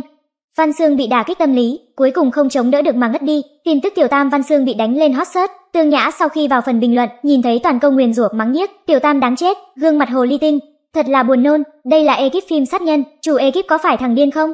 Sao lại ngăn cản? Văn Sương nên bị đánh chết. Liệu có phải có điều gì khó nói? Tôi thấy có vẻ như Văn Sương không biết mình là Tiểu Tam. Giả vờ ngây thơ, giả vờ ngốc đó. thương Nhã gương mặt trầm ngâm báo với chị Tình, Chị Nguyễn thì cố gắng hạ nhiệt nhưng bên kia bỏ ra nhiều tiền để cọ nhiệt, nên hoàn toàn bất lực, dốc sức đưa chị dính vào xì căng đan này. Bây giờ Văn Sương bị giới truyền thông vây ở bệnh viện, ekip cũng tạm dừng công việc, chị Tình chị ra mặt giúp Văn Sương lần này thật không có lợi cho chị, Trình Dĩ Tình cũng bất lực, gây ra chuyện như này, bây giờ cô cản cũng muộn rồi. Trước tiên tra thông tin tên nam nhân kia, tìm ra chứng cứ Văn xương bị oan vô tình làm tiểu tam, quán rượu họ đến không biết vì sao lại bị lộ ra, các phóng viên sớm đã đến quán rượu đó để nghe ngóng, chỉ đợi moi được thông tin đầu tiên, đúng lúc Dĩ Tình đang suy nghĩ nên đi đâu, Tề Văn Diệu gọi đến, "Dĩ Tình, anh ở sau em này." Dĩ Tình nhìn về phía sau, quả nhiên nhìn thấy Tề Văn Diệu, một phút sau họ ngồi cùng trong một chiếc xe. Dĩ Tình không giấu nổi nụ cười. Tên cặn bã này cũng thật lãng mạn, nếu như không phải tên cặn bã này đang lái xe, cô nhất định sẽ cho anh ta nụ hôn nồng cháy. Cùng lúc đó, Tề Văn Diệu nghe thấy tiếng lòng của cô ấy, cười mỉm. Vậy sao? Trình Dĩ Tình không hiểu anh ấy có ý gì. Lúc này Văn Diệu dừng xe lại. Anh nhìn Dĩ Tình nói, rung động không? Rung động. Sau đó, Trình Dĩ Tình hiểu rồi, cô ấy tháo dây an toàn, ôm lấy Tề Văn Diệu, hôn lên môi anh, anh Văn Diệu chúng ta đính hôn đi. Cố Ba Thanh tên cặn bã lừa nhiều cô gái như vậy, thay người như thay áo, tôi nghĩ nên bắt đầu xử tên cặn bã này rồi, còn vợ anh tay lần nào cũng đi đánh Tiểu Tam, sau lưng thì chuyên định nọt tên cặn bã, vì vậy Văn Sương có thực sự là bất đắc dĩ làm Tiểu Tam. Những lời cô ấy nói trong video đều là thật, sau khi đọc xong tin hot, Trình Dĩ Tình không biết nên nói gì. May mà đăng bài minh oan kịp thời, Văn Sương hiện tại cũng không sao rồi. Đúng lúc này Văn Sương gọi đến, Chị Dĩ Tình em định rút khỏi giới showbiz, Dĩ Tình thở dài một cái. Vì sao? Cô Bá Thanh là tên cặn bã, em hoàn toàn bị anh ta lừa, vì sao lại rút khỏi? Em đã quyết định rồi, chị Dĩ Tình em đã xin học vào một trường đại học ở nước ngoài, mấy năm nữa em sẽ về, vị trí của em trong giới showbiz có sự giúp đỡ của anh ta, em không cần thứ của anh ta, Trình Dĩ Tình nghĩ mãi không ra. Sao sự việc lại thành ra như này? Trong tiểu thuyết, Văn Sương rõ ràng thuận lợi quay xong phim sát nhân, Dĩ Tình hỏi. Nghĩ kỹ chưa? Văn Sương khóc mấy ngày, mắt sưng lên không khóc nổi nữa, âm em nghĩ kỹ rồi. Trong tiểu thuyết, Văn Sương chỉ là một vai phụ nhỏ thôi, số lần lộ mặt rất ít. Nhưng bây giờ phim tên sát nhân mới đi được quá một phần ba, tình tiết có Văn xương mới xuất hiện. Gặp phải chuyện này, chủ nhân đột nhiên thay đổi tình tiết. Cuộc đời của một số nhân vật cũng sẽ thay đổi theo. Dĩ tình ngơ một giây, điều này có nghĩa là do tôi. Đột nhiên Tiêu Khang Ngọc gõ cửa. Dì Ngọc sau khi nhìn thấy Dĩ tình, mắt sáng lên. Dĩ tình con về nhà sao không nói với gì? Kéo tay cô ấy. Con xem con có phải gầy đi không? Văn Diệu có phải là không quan tâm con không? Dĩ tình lập tức thu tay lại. Bà tìm tôi có việc gì? Thái độ này của Khang Ngọc có phải là hào quang nữ chính? Đúng vậy. Khang Ngọc đưa cho cô ấy một chiếc vòng tay, dĩ tình mấy ngày trước ta vô tình nhìn thấy chiếc vòng này. Chất lượng không tồi, rất hợp với khí chất của con, đặc biệt mua về cho con, con đeo thử xem, dĩ tình cầm chiếc vòng lên quan sát kỹ càng nghĩ. Chiếc vòng tay này cô đã từng xem trong tiểu thuyết, theo tình tiết của chuyện, chiếc vòng này đáng lẽ là Khang Ngọc tặng cho thời y, không ngờ cuối cùng lại rơi vào tay cô ấy. Mối quan hệ giữa cô và Khang Ngọc cứ như thế mà tốt lên. Không qua bao lâu, Văn Diệu đến, Dĩ tình rất mệt cần được nghỉ ngơi. Khang Ngọc nhìn Văn Diệu. Vậy nghỉ ngơi đi nhé, lời con chưa nói xong, đã bị Văn Diệu khóa ở ngoài, từ lúc đó Văn Diệu đối với dì Ngọc rất lạnh lùng. Văn Diệu nhìn chiếc vòng trên tay của Dĩ Tình, Ngập ngừng nói, ánh mắt của anh khiến Dĩ Tình lập tức hiểu ý của Văn Diệu. Anh Văn Diệu em không khuyên anh làm hòa với gì, cũng không vì vậy mà thay đổi cái nhìn về gì ấy mà tiếp xúc thân mật với gì. Dĩ Tình.ans ngập ngừng nói, Văn Diệu biết, anh không nên dùng sự oán hận của riêng mình mà ngăn cản Dĩ Tình. Dĩ Tình tiến lên một bước, anh đừng. Lời chưa nói xong, âm thanh của hệ thống vang trong đầu cô ấy. Chủ nhân, xin hãy nhớ nhiệm vụ của mình, là nữ chính cô nên khuyên bảo nam chính giải quyết mâu thuẫn, hoàn thành nhiệm vụ hàng đầu là gia đình hòa thuận. Vậy ngươi nói cho ta biết, Di Ngọc và cái chết của mẹ Văn Diệu có quan hệ gì? Nghe thấy tiếng lòng của cô ấy, Văn Diệu trong lòng hồi hộp. Sắc mặt đột nhiên thay đổi, nhưng không dám nói ra lời nào, rất sợ ảnh hưởng đến suy nghĩ của Dĩ Tình. Chủ nhân Nguyên Văn không có nói đến sự việc này, hệ thống và cô cũng như nhau chỉ biết vậy thôi, vì vậy tôi chỉ biết Năm đó Kha Ngọc và Tề Lâm có liên quan đến nhau, mẹ Văn Diệu thực sự là bệnh nặng nằm trong bệnh viện, sau khi mẹ Văn Diệu mất thì Kha Ngọc liền trở thành vợ của chủ tịch. Trong mắt Văn Diệu thoáng chút thất vọng, đến cô ấy cũng không biết, ân oán như vậy, tại sao anh ấy lại không thể vượt qua rào cản ấy. Dĩ Tình ý thức được sự im lặng của Văn Diệu, anh Văn Diệu, làm theo suy nghĩ trong lòng mình là được, không ai yêu cầu anh phải làm gì, bất kể anh làm gì em sẽ luôn ở bên cạnh. Nói xong liền ôm lấy Văn Diệu, anh Văn Diệu chúng ta đính hôn đi. Dĩ Tình sau khi đủ 18 tuổi, không còn thích Văn Diệu như trước, anh phải tốn bao nhiêu công sức mới theo đuổi được cô ấy. Trước ngày đính hôn một ngày, nhóm người trong ekip mới biết, Dĩ Tình sắp đính hôn rồi, mọi người lập tức chúc phúc cho cô ấy, duy nhất chỉ có Đồng Tư Hoa và hoặc Nhất Khả là không vui, dựa vào cái gì? Dĩ Tình cô dựa vào cái gì mà có được tất cả? Tại hội trường lễ đính hôn, thời gian cũng trôi qua nhiều rồi, sau khi họ đi vào bữa tiệc, Thời Y và Mãnh Kiêu không mời mà đến, cũng xuất hiện trong hội trường này, "Y Y tại sao chúng ta lại đến đây?" Mãnh Kiêu cau mày, hiển nhiên không đồng ý với cách làm của Thời Y, Thời Y mím môi không trả lời câu hỏi của Mãnh Kiêu. Đến cô ấy cũng không biết vì sao mình lại đến, sau khi nghe được tin Dĩ Tình đính hôn, tim cô ấy không ngừng quặn thắt. Thậm chí đích thân tìm đến Kha Ngọc, hỏi gì ta thiệp mời, Mãnh Kiêu lấy hết dũng khí hỏi thắc mắc sâu trong lòng. Em có phải vẫn còn yêu Văn Diệu? Thời Y trả lời rất quả quyết, em không yêu anh ta, cô ấy lúc này đối với anh ta chỉ có hận. Mãnh Kiêu nắm lấy cánh tay cô ấy, sợ rằng cô ấy đi vào hội trường, anh vẫn muốn ngăn cản Thời Y, nếu như đã không yêu, thì sống tốt cho mình không phải tốt hơn sao? Vì sao nhất định phải quấy rầy họ bên nhau? Trong mắt Thời Y hiện lên oán hận, anh đừng có ép em, Thấy vậy, Mãnh Kiêu không thể tin được nói với Thời Y, em cho rằng tôi đang ép em. Thời Y quay đầu lại, lập tức giải thích, anh, em không có ý đó. Em chỉ là lúc này thấy hơi bực bội, trong mắt Mãnh Kiêu ánh lên hy vọng. Tha thiết nhìn Thời Y, vậy thì em rời đi cùng anh, Thời Y nói em đi. Một lúc sau, Dĩ Tình mới bước vào hội trường, Thời Y sau khi nhìn thấy Dĩ Tình bèn nói, anh đợi em 30 phút được không? 30 phút thôi nhé, Thời Y nghiến răng. Anh chưa bao giờ từ chối được Thời Y kể cả lần này, Dĩ Tình và Văn Diệu vui vẻ nhận lời chúc mừng từ mọi người, gương mặt ngập tràn hạnh phúc. Thời y mắt dán chặt vào dĩ tình và văn diệu, ánh mắt chứa đầy sự phức tạp, ánh mắt như thiêu như đốt. Dĩ tình vô tình nước mắt, trùng hợp chạm mắt với cô ấy, con bé này. Thời y không ngờ lại tới. Tiếp theo, không lẽ đúng theo như kịch bản, làm loạn lễ đính hôn? Bác lộ ánh mắt trầm lại. Con bé này, còn biết mời rượu bắt đầu khiến người ta bất ngờ rồi. Sao vậy? Ngọt ngào đến mức đến ông trời cũng không sánh được, duy nhất ngày đính hôn hôm nay, những lời mà khách mới nói với dĩ tình đều là những lời mỉa mai ám chỉ, Ai nhận những lời như vậy đều rất khó chịu. Dĩ tình sao cứ có cảm giác lời này có chút mỉa mai không rõ ý nhỉ? Chẳng lẽ bởi vì thời y vốn dĩ mới là người nhận được lời chúc phúc của mọi người sao? Dĩ tình không uổng công cô thích Văn Diệu từ nhỏ cuối cùng cũng coi như theo đuổi tiểu từ này rồi. Nghe vậy Văn Diệu không vui liền ôm lấy eo dĩ tình các vị có lẽ đã hiểu lầm rồi. Sau khi dĩ tình thành niên thì không còn thích tôi như thế nữa tôi đã tốn công lắm mới theo đuổi được em ấy đó. Các chú các gì nói chuyện cẩn thận chút nếu không sẽ chọc giận dĩ tình, lúc đó em ấy không muốn gả cho tôi nữa, hậu quả mọi người phải gánh cho tôi đó. Vậy sao? Đương nhiên, dĩ tình nhìn văn diệu cầu nam nhân chẳng trách lại quan tâm như thế. Xin các vị ổn định chỗ ngồi, nghi thức đính hôn sắp bắt đầu. Dĩ tình hậm hực trong lòng hừ một tiếng, văn diệu hỏi em sao thế? Bọn họ cười chuyện em theo đuổi anh, nếu không phải anh em cũng đâu bị trêu chọc như vậy. Văn diệu cưng chiều giải thích không phải là anh theo đuổi em mà. Làm gì có, là em theo đuổi anh, trình dĩ tình theo đuổi tề văn diệu từ nhỏ cả thế giới đều biết hết rồi. Văn diệu nắm lấy tay dĩ tình, em có biết không? Cô không hiểu nhìn anh, Người mà anh thích chính là em của hiện tại, mà em của hiện tại chính xác là do anh chủ động theo đuổi. Ý của cầu nam nhân là gì chứ? Anh ấy thích mình của hiện giờ sao? Là bởi vì mình của hiện tại là mình mà trình dĩ tình của trước đó có bản chất không giống mình sao? Nghe được tiếng lòng của dĩ tình văn diệu lên tiếng cho dù có có bắt đầu lại bao nhiêu lần anh cũng chỉ động tâm với em của hiện tại, người mà anh thích chỉ có em.